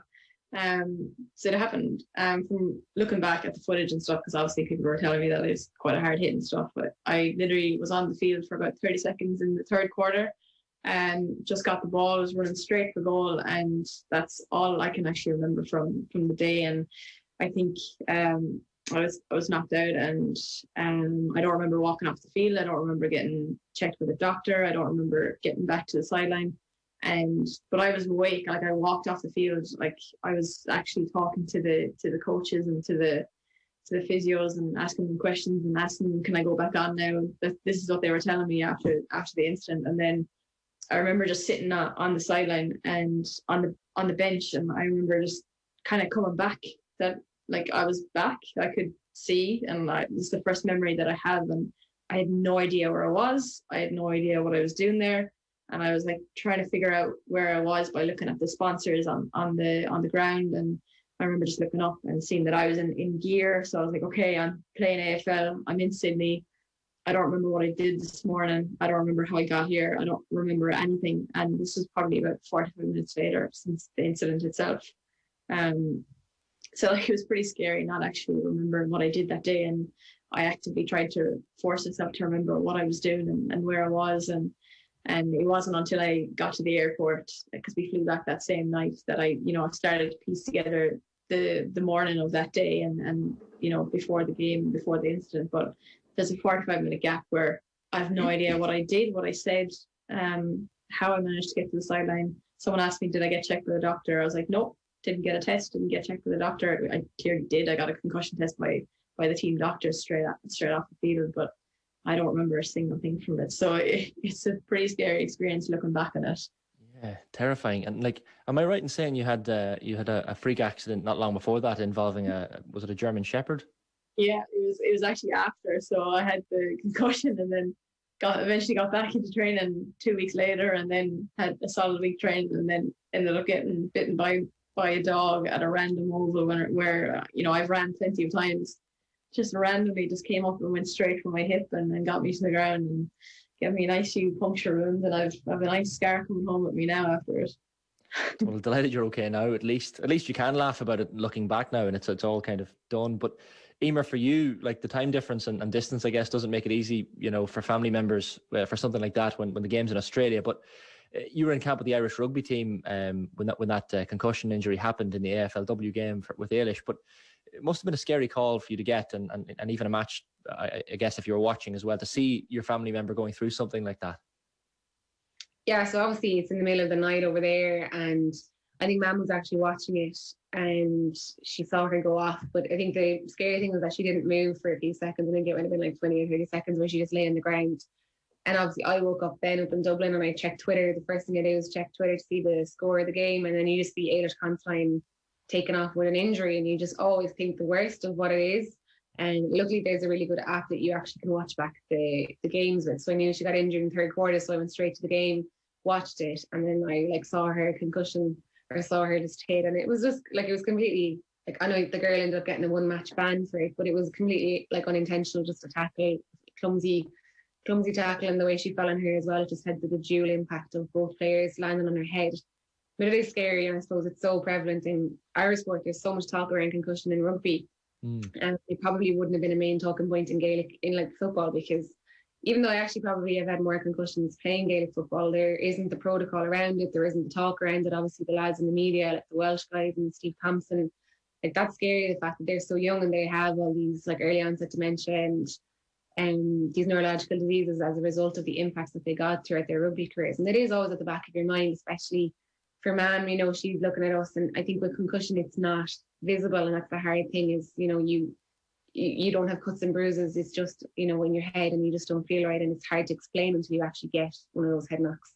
Yeah, it's terrifying. And like uh, we all know in rugby, uh, there are those big hits. And, and Ailish as well for you in, in the AFLW. I mean, you've had three seasons now, I guess, to kind of bed in. But, uh, you know, those skills from GAA are certainly transferable uh, in, in many ways. But are you at the point now where you know the the the Aussie rules skills are, are for you second nature, or is it a case of of always picking up little bits here and there? Still, you were famously Ireland's first ever AFLW champion a couple of years ago in 2019. But are you still at the point where you're where you're where you're picking up little tricks of the trade even three years in? Yeah, like still a little bit. Um, a lot of the major skills are coming pretty second nature at this stage. Um, because I, I've worked so hard to to get them right and not have to think about them. But like you're always going to pick up new things in games, see players do things that I wouldn't have seen before, and try and replicate what they do. And I think, yeah, the majority of the skills, I've, I've pretty much picked them up at this stage. But um, like you're you're always learning. Every every single game that you play, you always learn. But I think the major thing that um, that I have to try and pick up and, and master is just the gameplay and, and the style of play that, that they play because it's completely different to Gaelic football and they play the game very, very differently. Um, so for me, it's just trying to master that side of things, the gameplay, the knowledge around it, the structures. Um, so that's probably the biggest challenge for me at the moment is, you know, trying to get my head around all of that and, and get that right on the day and be in the right position at the right time. And talk about getting your head around things. I, I'm struggling to get my head around the fact, Eimear, that you only took up rugby in, in 2015 and and like to see what you're doing now with the Irish team and with Munster uh, is quite incredible but is it similar to, to Ailish in that you know when you took up uh, the sport of rugby I know you had the background in camogie and, and Gaelic football as well with uh, with Clare but was it was it difficult for you to bed into to this new sport when you took it up six years ago or, or was it just natural no, it was hard. It was it was again similarly it was the game understanding. Obviously, like no matter how long you're playing rugby or following rugby, the laws are always changing, and the ruck especially is always you know the contact element of the game is always you know evolving, um, and that's that was one thing that was really difficult at the start was just understanding the game. But yeah, I suppose you're you're like I've said it before, like you're almost like a ready-made athlete coming from GA, and it was just I was so good at football and camogie easily. And I was, you know, confident in what I did, I was confident in my decisions, and I was confident in the team environment. But it was like flipping a switch and being the complete opposite person in rugby. Like I had no confidence, I had no idea of the games. I went from being the top of my game to the bottom of this game. And I think psychologically it was really difficult because you're just learning all the time. You're trying to take in so much information. And obviously I was grateful that I got to learn everything at the top with the top coaches in the RFU um, and I got taught everything the way they wanted me to learn in relation. Like I didn't pick up bad habits because I literally got taught from the top coaches. Um, like I have plenty of bad habits, but you know they did their best to try and try and teach me. But um, I think it was a psychological part of things that I was just learning all the time, trying to take it in, trying to take copious amounts of knowledge at such huge pace because I had so little time to learn a game. Um, and like sevens was so challenging, just but it did give me the fundamentals of rugby. Like if you can't pass in in sevens, you know it's it's it's so it's so it's so important in the game. If you can't tackle in sevens, it's so important. So those skills, being able to ruck, pass, catch, um, tackle in sevens, like it really brought my 15s game on. And yeah, I've never I never imagined it would it would work out like this. I never imagined I'd play rugby for Ireland didn't even know what sevens was before I played rugby. Um, and I definitely didn't think I'd be like sitting here how many years later still playing rugby and playing 15s rugby. I had read somewhere that uh, your older brother Keith had bought you before you ever took up rugby, bought you a Rugby for Dummies book. Is that right? It was actually the first. So I think I took up rugby in like October 2015. And then I was just doing like trainings like twice a week. And then for Christmas that year, Keith got me the Rugby for Dummies book, and like I genuinely read it. Like, and Mom actually took it out the day that she was clearing out, and she's like, "I left the Rugby for Dummies book on your on your um, table." But like, yeah, he actually did. Like, I genuinely like I'll. The funniest story I ever tell, and I, I just cringe thinking back at it. But when I went to my first ever tournament was over in San Diego, playing against like USA, Canada, like mental that I went over there. I never never been playing a game before, and Anthony Eddy told me to go nine and I was like, no, actually, I don't think it was that game. I think it might have been like one of the training sessions early on. He said, go nine. I could not comprehend how I could play nine when there were seven players on the field. Like I could not comprehend it. Ah. And like to me now as a, a rugby analyst and like someone who works on TG4 and like doing an- analysis, like it's actually bizarre how I didn't know that nine was from half. But to me, as someone who genuinely like had no idea of rugby, and that just sums up how little I knew about the game when he said go nine, I was like, but there's only seven players on the field. And um, that's how naive and how clueless I was about the game. Well, look, you've come you've come a long way since then, Eimear. To be fair, we'll we'll let you yeah. off with that one. Um, I just wanted to talk to you guys as well briefly, I guess, about burnout, um, and it's something that kind of comes up quite often. Um, and I know even for yourselves, Eimear, the Rugby World Cup, Women's Rugby World Cup, has been postponed until next year, but it's kind of been stretched in terms of days to give it a bit more time to breathe, I suppose, in the calendar. Uh, but you know, I guess the importance of finding time for yourself and the important people in your lives. You know, you both, uh, you know, between I guess work and and you know friends and family and all that sort of thing. Uh, it can be difficult at times to find find the time and uh, and I know a lot of sports people in Ireland and, and across the world uh, that word burnout is so is so crucial for them. I, I, guess for either of you, what what what ways and methods would you say burnout uh, has been something that you've been able to get over as your careers have progressed? Yeah, I think it, it is definitely something that I find myself every so often just having to have a chat with myself or having a chat with Dean and going, you know, this is this opportunity has come up and it's it's like, God, do I have time for this? And when you actually sit down and plan it out, and you just have to learn to say no to some things, I think. Mm. Um, you know, it's great to be pulled left, right, and centre and wanted to do this and that, but so you just have to weigh it up and think, you know, do I have time for this? And and it, what I would have done in the past was try to people please and try and say yes to everything and every, you know, be everywhere at a certain time. And I think you just have to learn to say no to some things and just value the time that you have as your time. Like it's it's okay not to have like a full schedule or try and fill every weekend or every evening. So I've learned through like obviously through failing at that before. And um, when I was in the seventh, it was really difficult with work, training, and it was just it was just constant. And I wasn't enjoying anything that I was doing. So I think when it comes to the point where you're not enjoying something, you have to take a look at it and be like, well, why am I enjoying it? And is it because everything else is too busy, or because you know you like it, your time is your time? And at the end of the day, like rugby is it's not my job, it's my hobby, and it should be enjoyable. And until it doesn't get enjoy, while it's still enjoyable, I'll play as long as I can, as long as I'm able. And um, but I think I've learned that through you know being under pressure and having elements of burnout in the past. Absolutely, uh, it's so important for for you know players to to mind their mental health and stuff over, you know, I guess as a priority over training and matches as well, as you say. Um, for you then Ailish I mean someone you're someone who is clearly important in your both of your lives and your careers uh, and your sport is your is your mum Kay. And I know uh, like we spoke about the distance between Oz and Ireland at the start but um, I'm sure she's unbelievably proud of, of what you both achieved. And, and look I know you guys had to uh, both go through the tragic loss of your of your dad uh, years ago but uh, how much does it mean to you to see your mum's pride in what you've achieved. And, and look I, I, she's i'm sure a hugely important figure in both of your lives. Yeah like she is and she's not great at hiding how proud she is. So she she does she does let us know and everyone, and everyone else and everyone else from time to time. So and no in fairness like we, we wouldn't be where we are today without it without her. Like she has she has been a rock um, in terms of you know everything that we've gone through in our life. And like we wouldn't be where we are today in our sporting career without her because I think she travelled every road in Ireland bringing us to either trainings or games or even two or three training sessions in the one day between under 14, 16 minors, Clare, Kilmaley, Kilmihil, between them all. I, I don't know how she kept I don't know how she kept on the road and how she had so much time to to pass with us. So she really sacrificed so much for us and and I guess um I'm, I'm just grateful that, that we do make her proud and it's, you know hopefully we are making her proud and give back a little bit for what she she did sacrifice for us as as kids and teenagers. So um you know you got any more to say on her?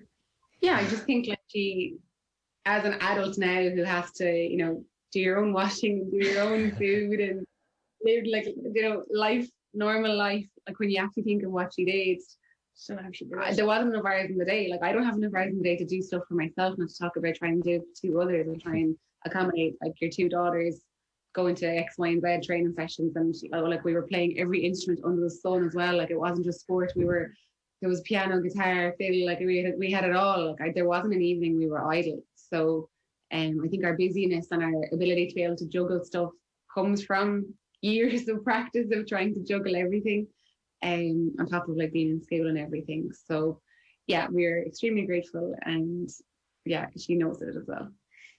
Absolutely, I'm sure she does. Uh, just to fin- finish up, guys, uh, like what's next for you both? I know Ailish, you've got your you're you're killing it out in Oz there at the moment. So uh, what what's what's in the pipeline for you the coming uh, months and years? Like, is the plan to stay out in Oz? Is it to come home and play some more club at some stage, or what what do you have in your in your head at the moment? Yeah, for the for the moment, while I'm while I'm fit and able and, and able to continue, and while they keep resigning me, I'm going to keep going out to Australia and, and play for as long as possible. I feel like because I've taken it up so late, like only in the last three years, that it would be I wouldn't feel right about giving it up now at this stage. Like I like I'm in it for the long haul. I really want to go and actually properly give it a go and, and play for the next couple of years while I'm, while I'm still able. So if the opportunity allows me to do that, that's something that I will definitely pursue. But I'm never ruling out the fact of coming back playing Gaelic football at some stage. That's obviously in the pipeline, probably a good bit in the future right now. But um, yeah, for, for now and for the next couple of years, the plan is to continue playing Australian rules football out in Australia and enjoy the sunshine. exactly, enjoy the sunshine. and, and, and, like for you, Eimear, I know uh, it's it's impossible to have any sympathy for a teacher uh, heading into the summer months. I know you're a PE and Irish teacher. you've got the next you've got the next few months to to unwind and do absolutely nothing. I'm sure. Well, I'm actually getting married in July, so that's well, at the moment. That's why she came home. She, she knew. well, congratulations. That's something to look forward to.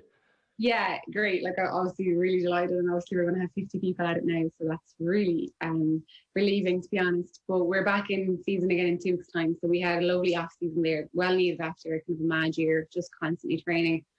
Um, and then we'll be back in and full steam ahead for the World Cup qualifiers in September. So really exciting that, you know, we have that opportunity. The World Cup has been on our horizon since, you know, we didn't qualify in 2017. So we are hopefully going to get to play those games and hopefully we'll know by September if we have qualified for New Zealand or not. Absolutely. Well, listen, guys, uh, it's been an absolute pleasure talking to you both. And uh, I should mention as well, just what I mentioned at the start, but uh, you're both on with us because Aviva Ireland are launching its Lace Up with Pride campaign, teaming up with Intersport Elveries. The campaign will give people the chance to buy rainbow laces for €4 Euro at selected stores and online at elveries.ie with all profits going to the LGBTI plus charity belong to youth services. So uh, listen, Eimear and Ailish, keep doing what you're doing, and no doubt we'll speak to you both very uh, very soon again, no doubt. So thanks a million. Cheers, thanks for OTB AM.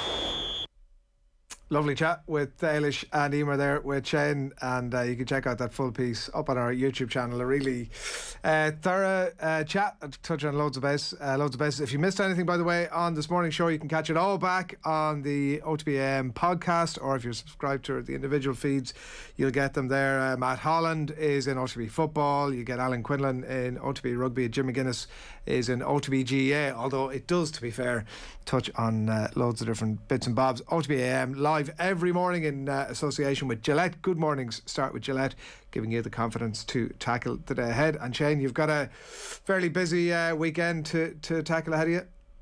Yeah, very very busy weekend. Loads of GA updates as well later in the the, uh, the small matter of Monaghan Galway is until the weekend after though, so that's where I get really excited. But yeah, uh, loads of good stuff. As I said, Damien Delaney and uh, or Damien Delaney's on at the week, weekend on Sunday. Uh, and then we have David Meyler and Richard Dunne on Saturday. So plenty of Euros uh, preview as well. So uh, loads to look forward to. Saturday from 1 and Sunday from 1. Good man. And you're on next Tuesday as well, I think. Tuesday morning, bright yeah. and early with Owen. So uh, after the, the busy bank holiday, hopefully we get a bit of weather for the bank holiday as well. So uh, something to look always, forward to. It's always sunny in uh, Monaghan, isn't that the that the expression? Maybe. That's that's that. I'm going to go with that one actually. That's what I'm going to run with. Good man. Enjoy the weekend. Thanks, William Shane. Uh, top work this morning, Shane Hannon there. And uh, right now we're going to bring you a segment from episode four of the Football Pod with Paddy Andrews and Andy Moran. And here they are on the crossover between soccer and Gaelic football at the minute, and what Philly McMahon can bring to the Bohs dressing room. Philly McMahon is joined Bohemians Football Club as a performance coach. Um, Paddy, a teammate of yours, what do you think Philly will bring to the dressing room of Bohemians? Um, yeah, I, I, it was interesting to see it. Obviously, I know that their season has kind of kicked off already in the middle of it. So I think it, it's always catches the eye when it's someone from a different sport steps into that that side of things as well. So look, Philly's had an amazing career off the pitch in terms of his strength and conditioning and, and the studies he's done, and obviously runs his own gym similar to, to what Andy's doing as well. So it is an interesting one. And the biggest thing I would say for, for any coach going into to a new dressing room, and this is true of any sport, you know, with a GAA dressing room, there's 35 lads there, or Philly going into the Bohs dressing room and there's slightly less with soccer, maybe 20, 25 players. The first thing you have to overcome is, I'd call it like the credibility test that you're going in there before you can get get into your, your nut, nuts and bolts and how you're going to help the team you need to go in there and show them kind of what you're about.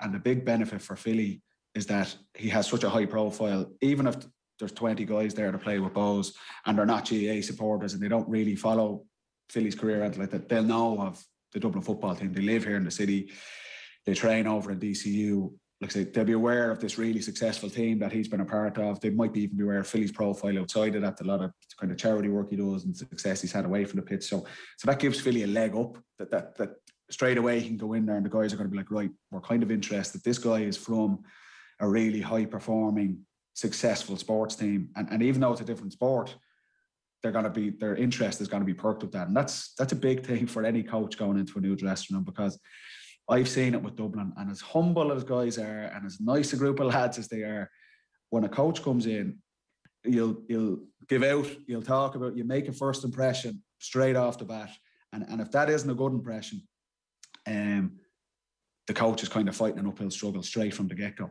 And the football dressing rooms are ruthless. Like we've had guys come into us with Dublin, and it's like this just hasn't worked from the get go. It's like this, it's not a good fit um, and, and that's probably harsh because the guy, the coach has come in and he hasn't even got to, to get down and get into really into the nuts and bolts of what he does. But that's the benefit that Philly has. He probably has a really high credibility with those guys already. And then the second thing, then, and this is the most fundamental thing for any coach or performance analyst or anything like that, is he going to make the players better? That's that's your bottom job as a coach. You can get caught up in tactics and all the fancy stuff. Your role is to make the players you're coaching better. And what Philly can do, I doubt he's going to be going in talking about tactics or, or technical skills because that's not his background at soccer. But if you're a Bohemians player and you go to him, well, you can definitely talk to him about preparation, dealing with pressure, high performance, you know, playing in big matches and things like that. Even though it's a different sport, like the bottom line with elite sport, it's competition. And you got to go out and you got to beat the other guy. So that doesn't change whether it's in tennis, it's basketball, rugby, it's soccer, GAA you got to compete and be mentally prepared to beat the other your opposition. And Philly obviously has an amazing experience of doing that over years. So, so in things like that, I think you'll add huge value to to Bohs and to their players. But look, I'd be surprised if he's talking about the offside trap and, and the technical side of things. But he, no, it, it's a great appointment, I'd say, and, and great for Philly as well, obviously. Yeah. Did Philly talk much in the dressing room? Uh, he would have, yeah, yeah, he definitely would have. he would have talked in the dressing room, would have spoke on the pitch as well. Um, but he, he, like he's he's such an amazing background and a story, and it's just his character as well. Like um, he would have spoke very much so. I'll tell you, funny thing, we're talking about man on man defenders nowadays. Philly never wanted to do that. Philly was the lad calling for everyone to get back. Philly is calling for Bernard Brogan to come back and defend. And we're looking back and we're going, no, pal, you're, you're on your own back there. Um, so, so things like that, that's kind of. He never said anything to the opposition. Yeah, and he never spoke to Andy. Yeah, and I tell you, Andy and Aidan O'Shea could probably tell you more about it. But no, he, he would have been he would have been a big leader. Obviously, you, you can see that in his, his persona and things like that. So that's the type of thing Bohs would be getting.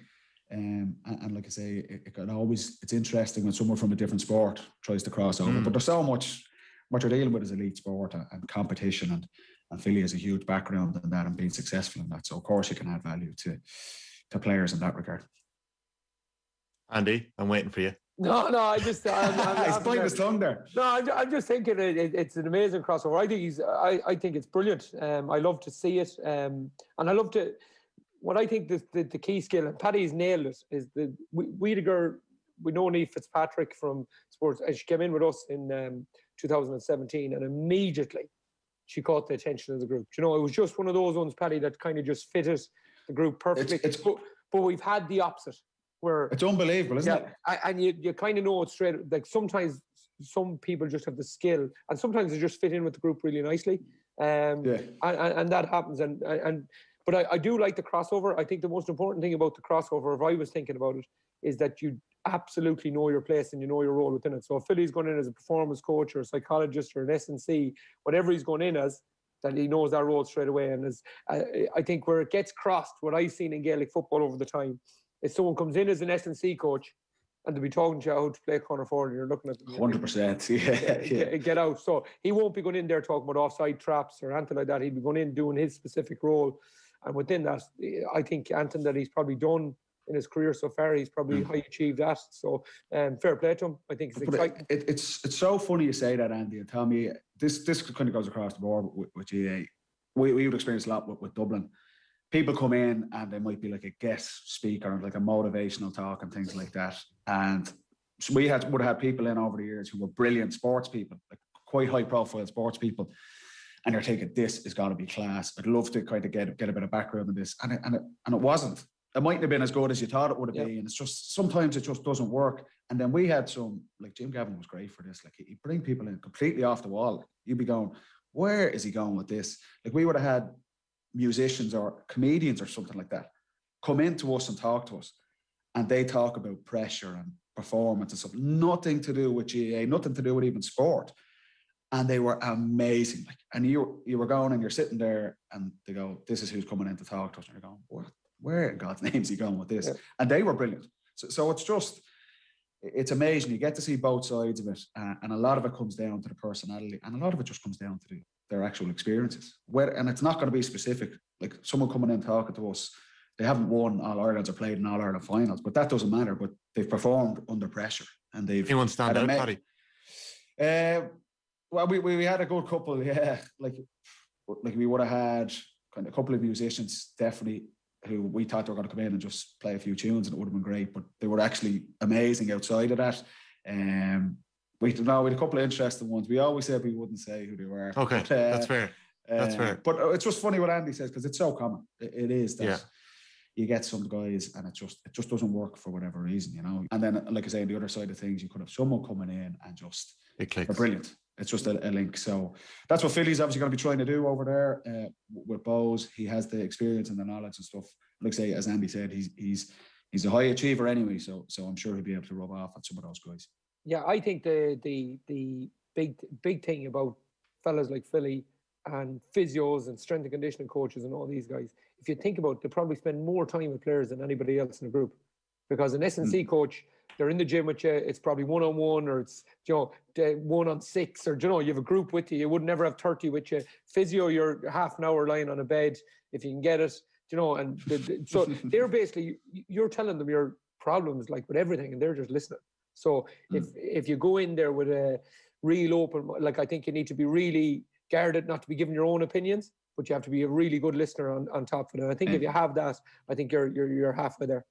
Does a what about the culture of a soccer dressing room? Do they hold the GAAs high enough stock?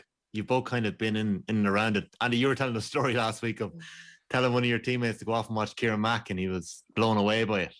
Um, well, well, I think I, I think the, the, the stock question is a good question because where Philly comes from, Ballymun. Again, I'm talking uh, like, but I'm just listening to what Philly has said in the past about Ballymun and the troubles they had growing up and stuff like that. And an awful lot of soccer like it, like we know, like I lived in a council estate myself. We did nothing but play soccer, and this is where soccer has kind of grown from. So Philly mm. will know the troubles of an awful lot of these players and where they've come from and what, what they've done and how they've done so well to achieve to get to that position. So I think Philly McMahon will have no problem with his stock even away from the game. Never mind what he's done. Yeah, in, yeah. in the in the soccer dressing room. I remember I, I this only happened about twice, but I was called into the senior squad twice for Longford the time I was there, and you had to come in a suit. You probably remember this from Monaghan, Paddy. You had to come in a suit. yeah, all our gear. Oh, Louis Kaufman, Roddy Collins. I, am a tracksuits man. Like, I'm a tracksuits. Yeah, I'm a tracksuits man all day long, right? So you're this dressing room like it's full of dubs, and I, I go down to this shop in Longford. I say I need a suit, and they go, "What?" You? I said I need to play with the boys. So he said they're all wearing this. So I wear these grey slacks that could only be described as flares, right? Lovely. Uh, Sounds I wear, good. Wait to hear this, Paddy. Wait to hear this. I'm still mortified about it, but I wear a black shirt and I wear a white tie. a white. I'm, I'm 19 years of age. I'm 19, I'm 19, years of age. Oh, good lord. And do you know Vinny Perth that's like he wouldn't yes. remember me, but Vinny Perth is captain of the team. There's a guy called Digger O'Brien there, two boys, and li- I literally walked into it and I just get murdered for half an hour. I was sitting on the guy with oh, the crack, lads. It was brilliant for about three weeks. It was nearly my introduction to the team. The boys kind of half liked me afterwards because I looked so bad, you know. Black shirt and white tie. Oh, that oh, bad. Top class. Yeah, but I, still, I still, I still can't dress myself to be honest with you. So, Paddy, you're a good man for a suit. Tell us about Monaghan United. What was that like down there? You told us the transfer deadline day signing one one year. Yeah, I, I'd like. I, I don't know if I've ever believed this. Did this really happen? No, it's true. This is this is true. Yeah, uh, I signed with the Rod squad 2011 that summer. Uh, do you know that? Like you hear, I signed at the back of a smoke pack. I w- was not far off that. Like I would have known Roddy since I was a kid. Like, and uh, Roddy, I would I would say is like the Irish Harry Redknapp. Just a character. Like players love. You spend 30 seconds in Roddy's company I swear to you, you'll have enough material for for a laugh for about six months. He's just he's box office. He's real Dublin old school traditional kind of soccer guy. And he came across and I was like, Roddy, listen, I haven't played soccer since I was 13, 14, like seven or eight years ago. I'd be useless. Don't worry about that, Pat. We, will find a position for you. And his whole attitude was like, it was funny. It was like a soccer attitude of the GAA. It was like, I'm sure you'll be fit. You'll have a horrendous touch, but we can put you like centre half and you'll be able to kick a few fellas. And and he wasn't far wrong in that. But uh, but that was kind of the, the it's funny back then, and, and this has changed so much. That the attitude from soccer to GAA was like that's for country people. Um, GAA, it's just kind of there's no skill, there's no tactics. They're all bog ball they call it in Dublin. Like, and the same from from GAA, we'd look at it and go, the soccer guys are all soft. They're all you know they've no they don't work hard. They've no kind of they don't have a hard mentality and things like that. But the change in that over even over the last four or five years, the amount GAA, and we're talking about tactical innovation stuff like that. And Andy touching on with kind of praising the northern teams are always seem to be the forefront of, of innovations of the game. The amount GAA has learned from soccer over the last five, ten years in terms of tactics and things like that. I think that the, the old school, the stereotype of the teams not getting on and soccer and GAA being separate. I think there's, there's, a healthy respect there now that soccer people can see, particularly in, in Dublin with the success the Dublin team have had, kind of what a, a bit more understanding what the GAA is about. And GAA people generally, younger generations definitely love soccer. We all follow soccer. It might have been an old school thing where kind of a legacy thing where older people didn't didn't the foreign game and didn't mm. want to get involved in it. But but the the influence of soccer tactics on GAA now, particularly over the last five or so years, is huge. And, and it's been such a benefit to the game. Like, yeah, it's developed an unbelievable amount. Um, and you know, we talk about the the gegenpressing that we've kind of spoken about mm. a few times. Not really. Um, I know you don't really buy it, Andy. The the heavy heavy metal football is that is that what we uh, called it in the I, paper? I, I, did, I, didn't I didn't I didn't buy the the the way Big JB was uh, was was described. because he just doesn't get on with Bradley. Like if someone else said actually, it, I actually, I, I, actually do. To be honest, I actually the Dubs, do. The Dubs but, love Bradley, though, don't they, Paddy? But you're do we? Yeah, huh? you love Bradley. Oh, do we? Okay. I thought you did. I don't know. Maybe they yeah. do. Yeah.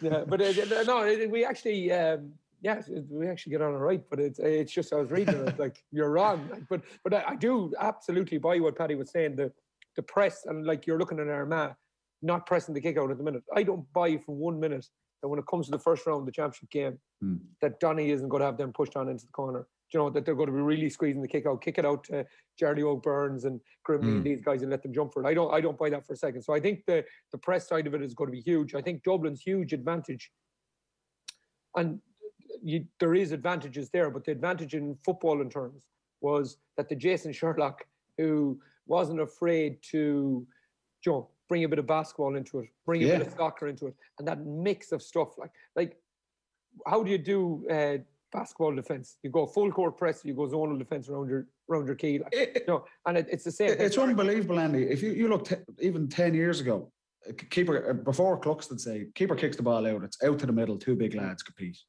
You're defending a kick out, the six forwards just go to their six positions. The change from that is from soccer and basketball.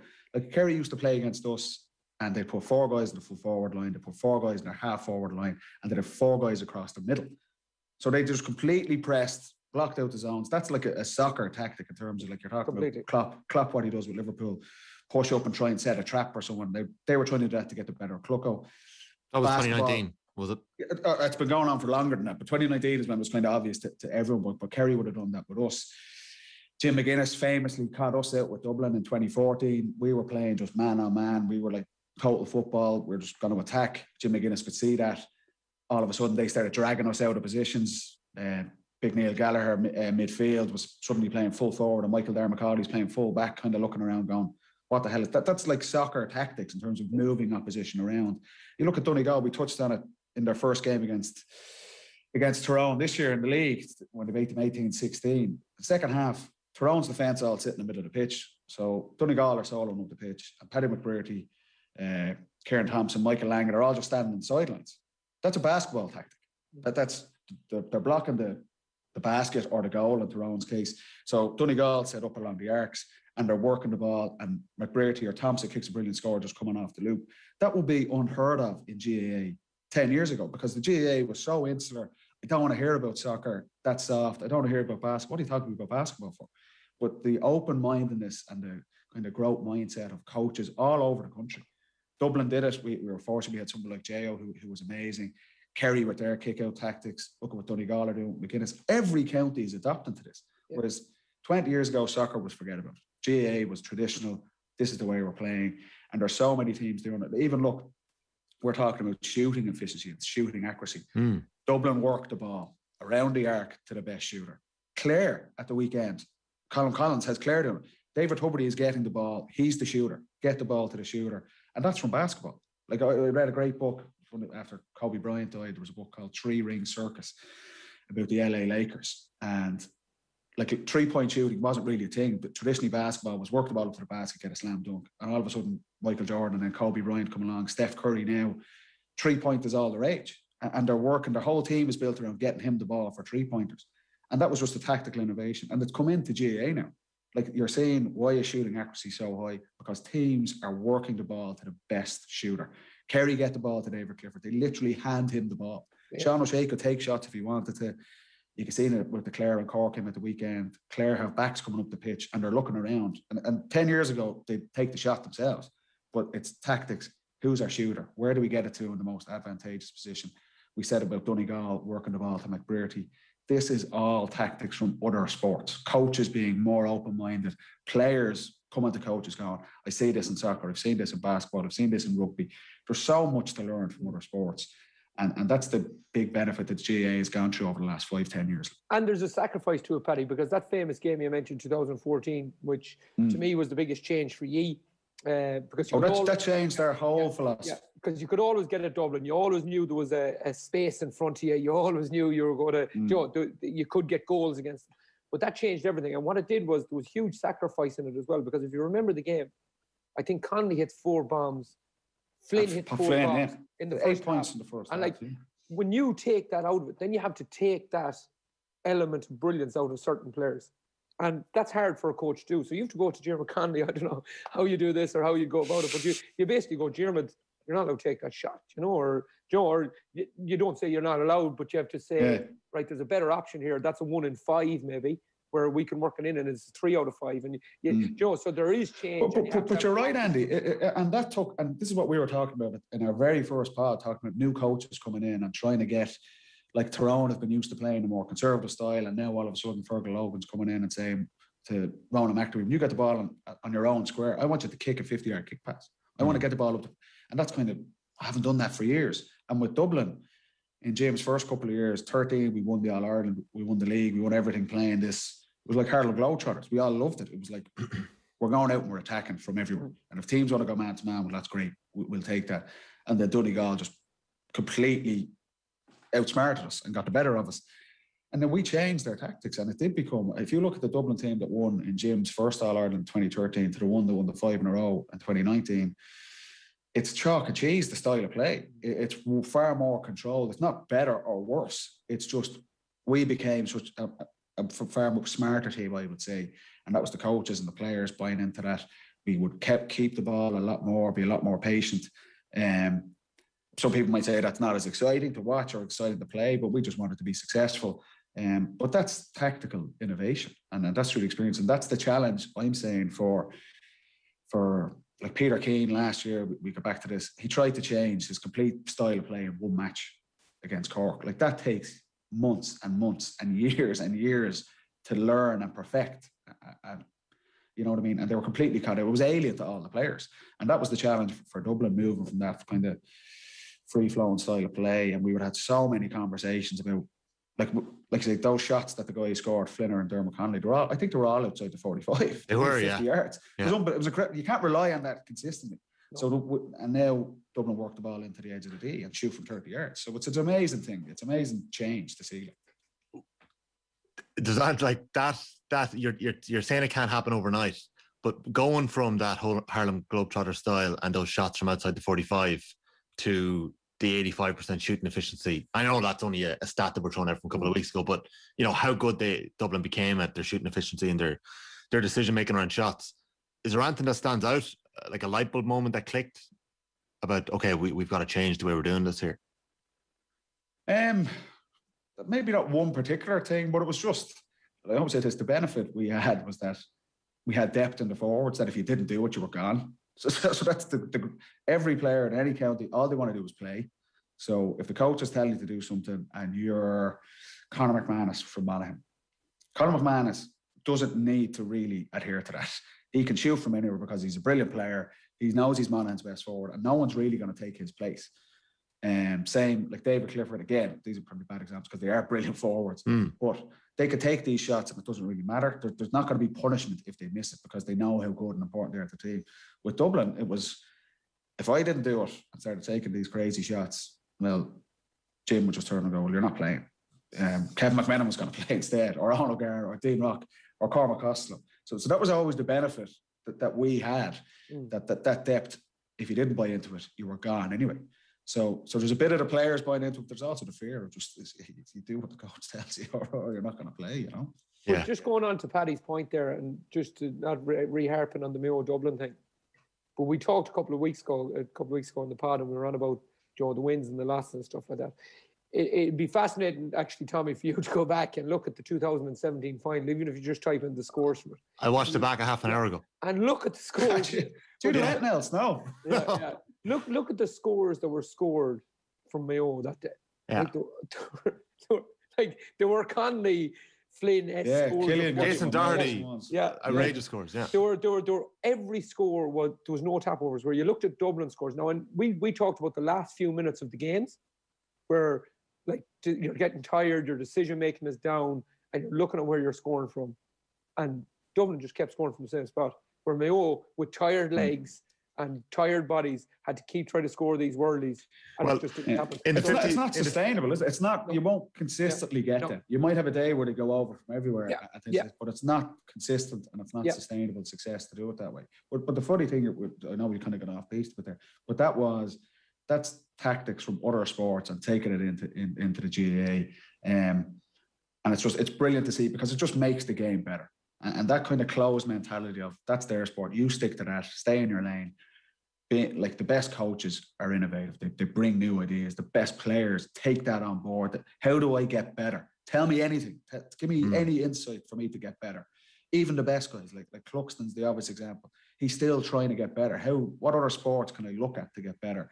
Um, and and you can see that across the GAA now. Some brilliant performances and, and brilliant coaches inputting that into the team. It takes time, and that's the challenge for, for the newer guys and like a touch on Galway and, and Tyrone and places like that. But it's it's great to see. It, just on that 2017 Ireland final, there is a brilliant YouTube version of that game, which is just the shots, and it's about 28 minutes. The whole game, uh, you know, broken down to that. But when you're talking about that, in the second half of that game, Dublin started taking. Brian Fenton scored a, a point from 15 yards, and I think Kevin McManamon scores a point closer into goals as well. Lee Keegan scores that goal to send Mayo ahead, and I think the next shot the Mayo have Aidan O'Shea is inches wide with a shot with the outside of his left foot from near the sideline. Over and the, that nearly under the yeah. And you're you're underneath the post that day, and it's so close. It's so close, but Dublin weren't taking those shots in the last no. 15 minutes. No, no. Um, yeah. So like, I don't know. Is that legs? What is that? You know, like, you get me emotional now, Tommy. Jeez, Andy was in flying form there, Tommy. You're after just like your start at lunch. I didn't bring up 2017. I wasn't going to mention it. I wasn't. No, I didn't mention it. Andy, did you bring it up? Uh, yeah, I just, I, I did. Yeah, I just think that that that kind of sums it up, Tommy. And I think when you're looking at the innovation of what Dublin have brought to it, you're looking at the playmakers. We talked about Kilkenny. They gave them the ball. They literally gave them the ball. I remember one. Well, time, not that day. I, I, on, like well, Lee Keegan. Lee Keegan, absolutely. But, but, but, but we identified it, Tommy. Okay. We identified it. We identified that Lee didn't give him the ball. I think in 2016, in the first game, Diarmuid Connolly takes the sideline ball off, off Kieran Kilkenny, and you can just see the Dublin boys going, look look at the book at the bottom like like he he's telling you like he got he we weren't got, we weren't overly happy with that. Yeah, he got grilled for that because Kieran Kilkenny's the ball handler. You give him the ball. Now Scully's the ball handler or Fenton, so you give mm. them the ball. That was an injury time sideline yeah. by Connolly yeah, in the seventy first minute. Yeah, so we identified uh, Kilkenny. We could have put Lee on different players who were outstanding at the same time, but we identified Kilkenny on that year of being the main focal point for the Dublin attack, and it really did work for us. And I think he kept them to eight possessions, scored a goal himself. But still, Dublin and other fellas around the place that could do the job as well. But I think Kieran that day then, either by his own choice or by the by Jim, said, right, let's take Lee Keegan out of the game, and they just plonked him out on the wing or in the corner, mm. and you know, so there was there was thinking there as well. You know, he had an incredible performance that day, Lee Keegan. Yeah, he's an incredible player, mm. you know, and he, he's still doing it. But that time, 15, 16, 17, when we played Dublin, it was like right, Lee will mark whoever, and then everyone else has to do their own job. Yeah. So that was it. And the, the, the but the, that, that's lads, it's funny, and, and you know? we, we talk about that. Like it's like he's an amazing player, and he was sacrificing his game. Like we know how good he is going yeah. forward. And that's what we were talking last week about defenders now being asked to man mark and get tight and the art of defending and have that little bit of needle I mean, you don't really see it that much anymore. Whereas Lee Keegan, was totally unselfish in his play. Mm. I'm I'm going to try and mark Diarmuid Connolly because he's brilliant for Dublin. And I know I could, if I just played my own game, I might be able to go up and score three or four points for play. But that was being hard. That was being a defender. That was making that, that kind of sacrifice for the team. And that's the challenge we had last week and what the first three rounds of the league. We're not seeing defenders do that anymore. We're seeing defenders who are great going forward. I, I noticed the same with you. The way they did it for us, I'd, I'd always identify McCarthy as being your heartbeat in terms of yeah. he, he, was the guy that always yeah. knew what to do, knew how to sacrifice his game, and then everyone else. And just yeah, like just like amazing players, but just yeah. amazing teammates. Like just they do anything feel like, and that's that's what you're hoping to see going into the championship. Because if teams are going to play this way, they're going to play this open attacking football you're going to need to have two or three defenders. Like if you're going to win the All Ireland, you're going to have to beat Dublin, and you're going to ask one of your full backs to go. You're going to mark Con O'Callaghan, and that's you got to do that. Or if you're going to play Kerry, say Tyrone win the Ulster Championship, play Kerry in an All Ireland semi final, they're going to turn around to Ronan McNamee or Pádraig Hampsey and say, "Listen, you're marking Clifford. Deal with it." Mm. And that's that's what defenders are going to have to do if you want to play this expansive style of play. Players are going to be asked to do that, and it's if they're able to do that, that would be such a huge advantage to that team. Imagine taking out the key scorer for someone else. That, that could win you the game. That could win you the All Ireland. It very nearly won the All Ireland for Mayo in 17 by uh, what Lee did. Macker was amazing for us so many times, and with John Small and guys like that. That's what it takes, paying the price. And like I say, you've got to make sacrifices, even to your own game. You might want to go forward, but that's that's ultimately what every team needs those type of players. OTB AM. With Gillette, put your best face forward with our new and improved razors.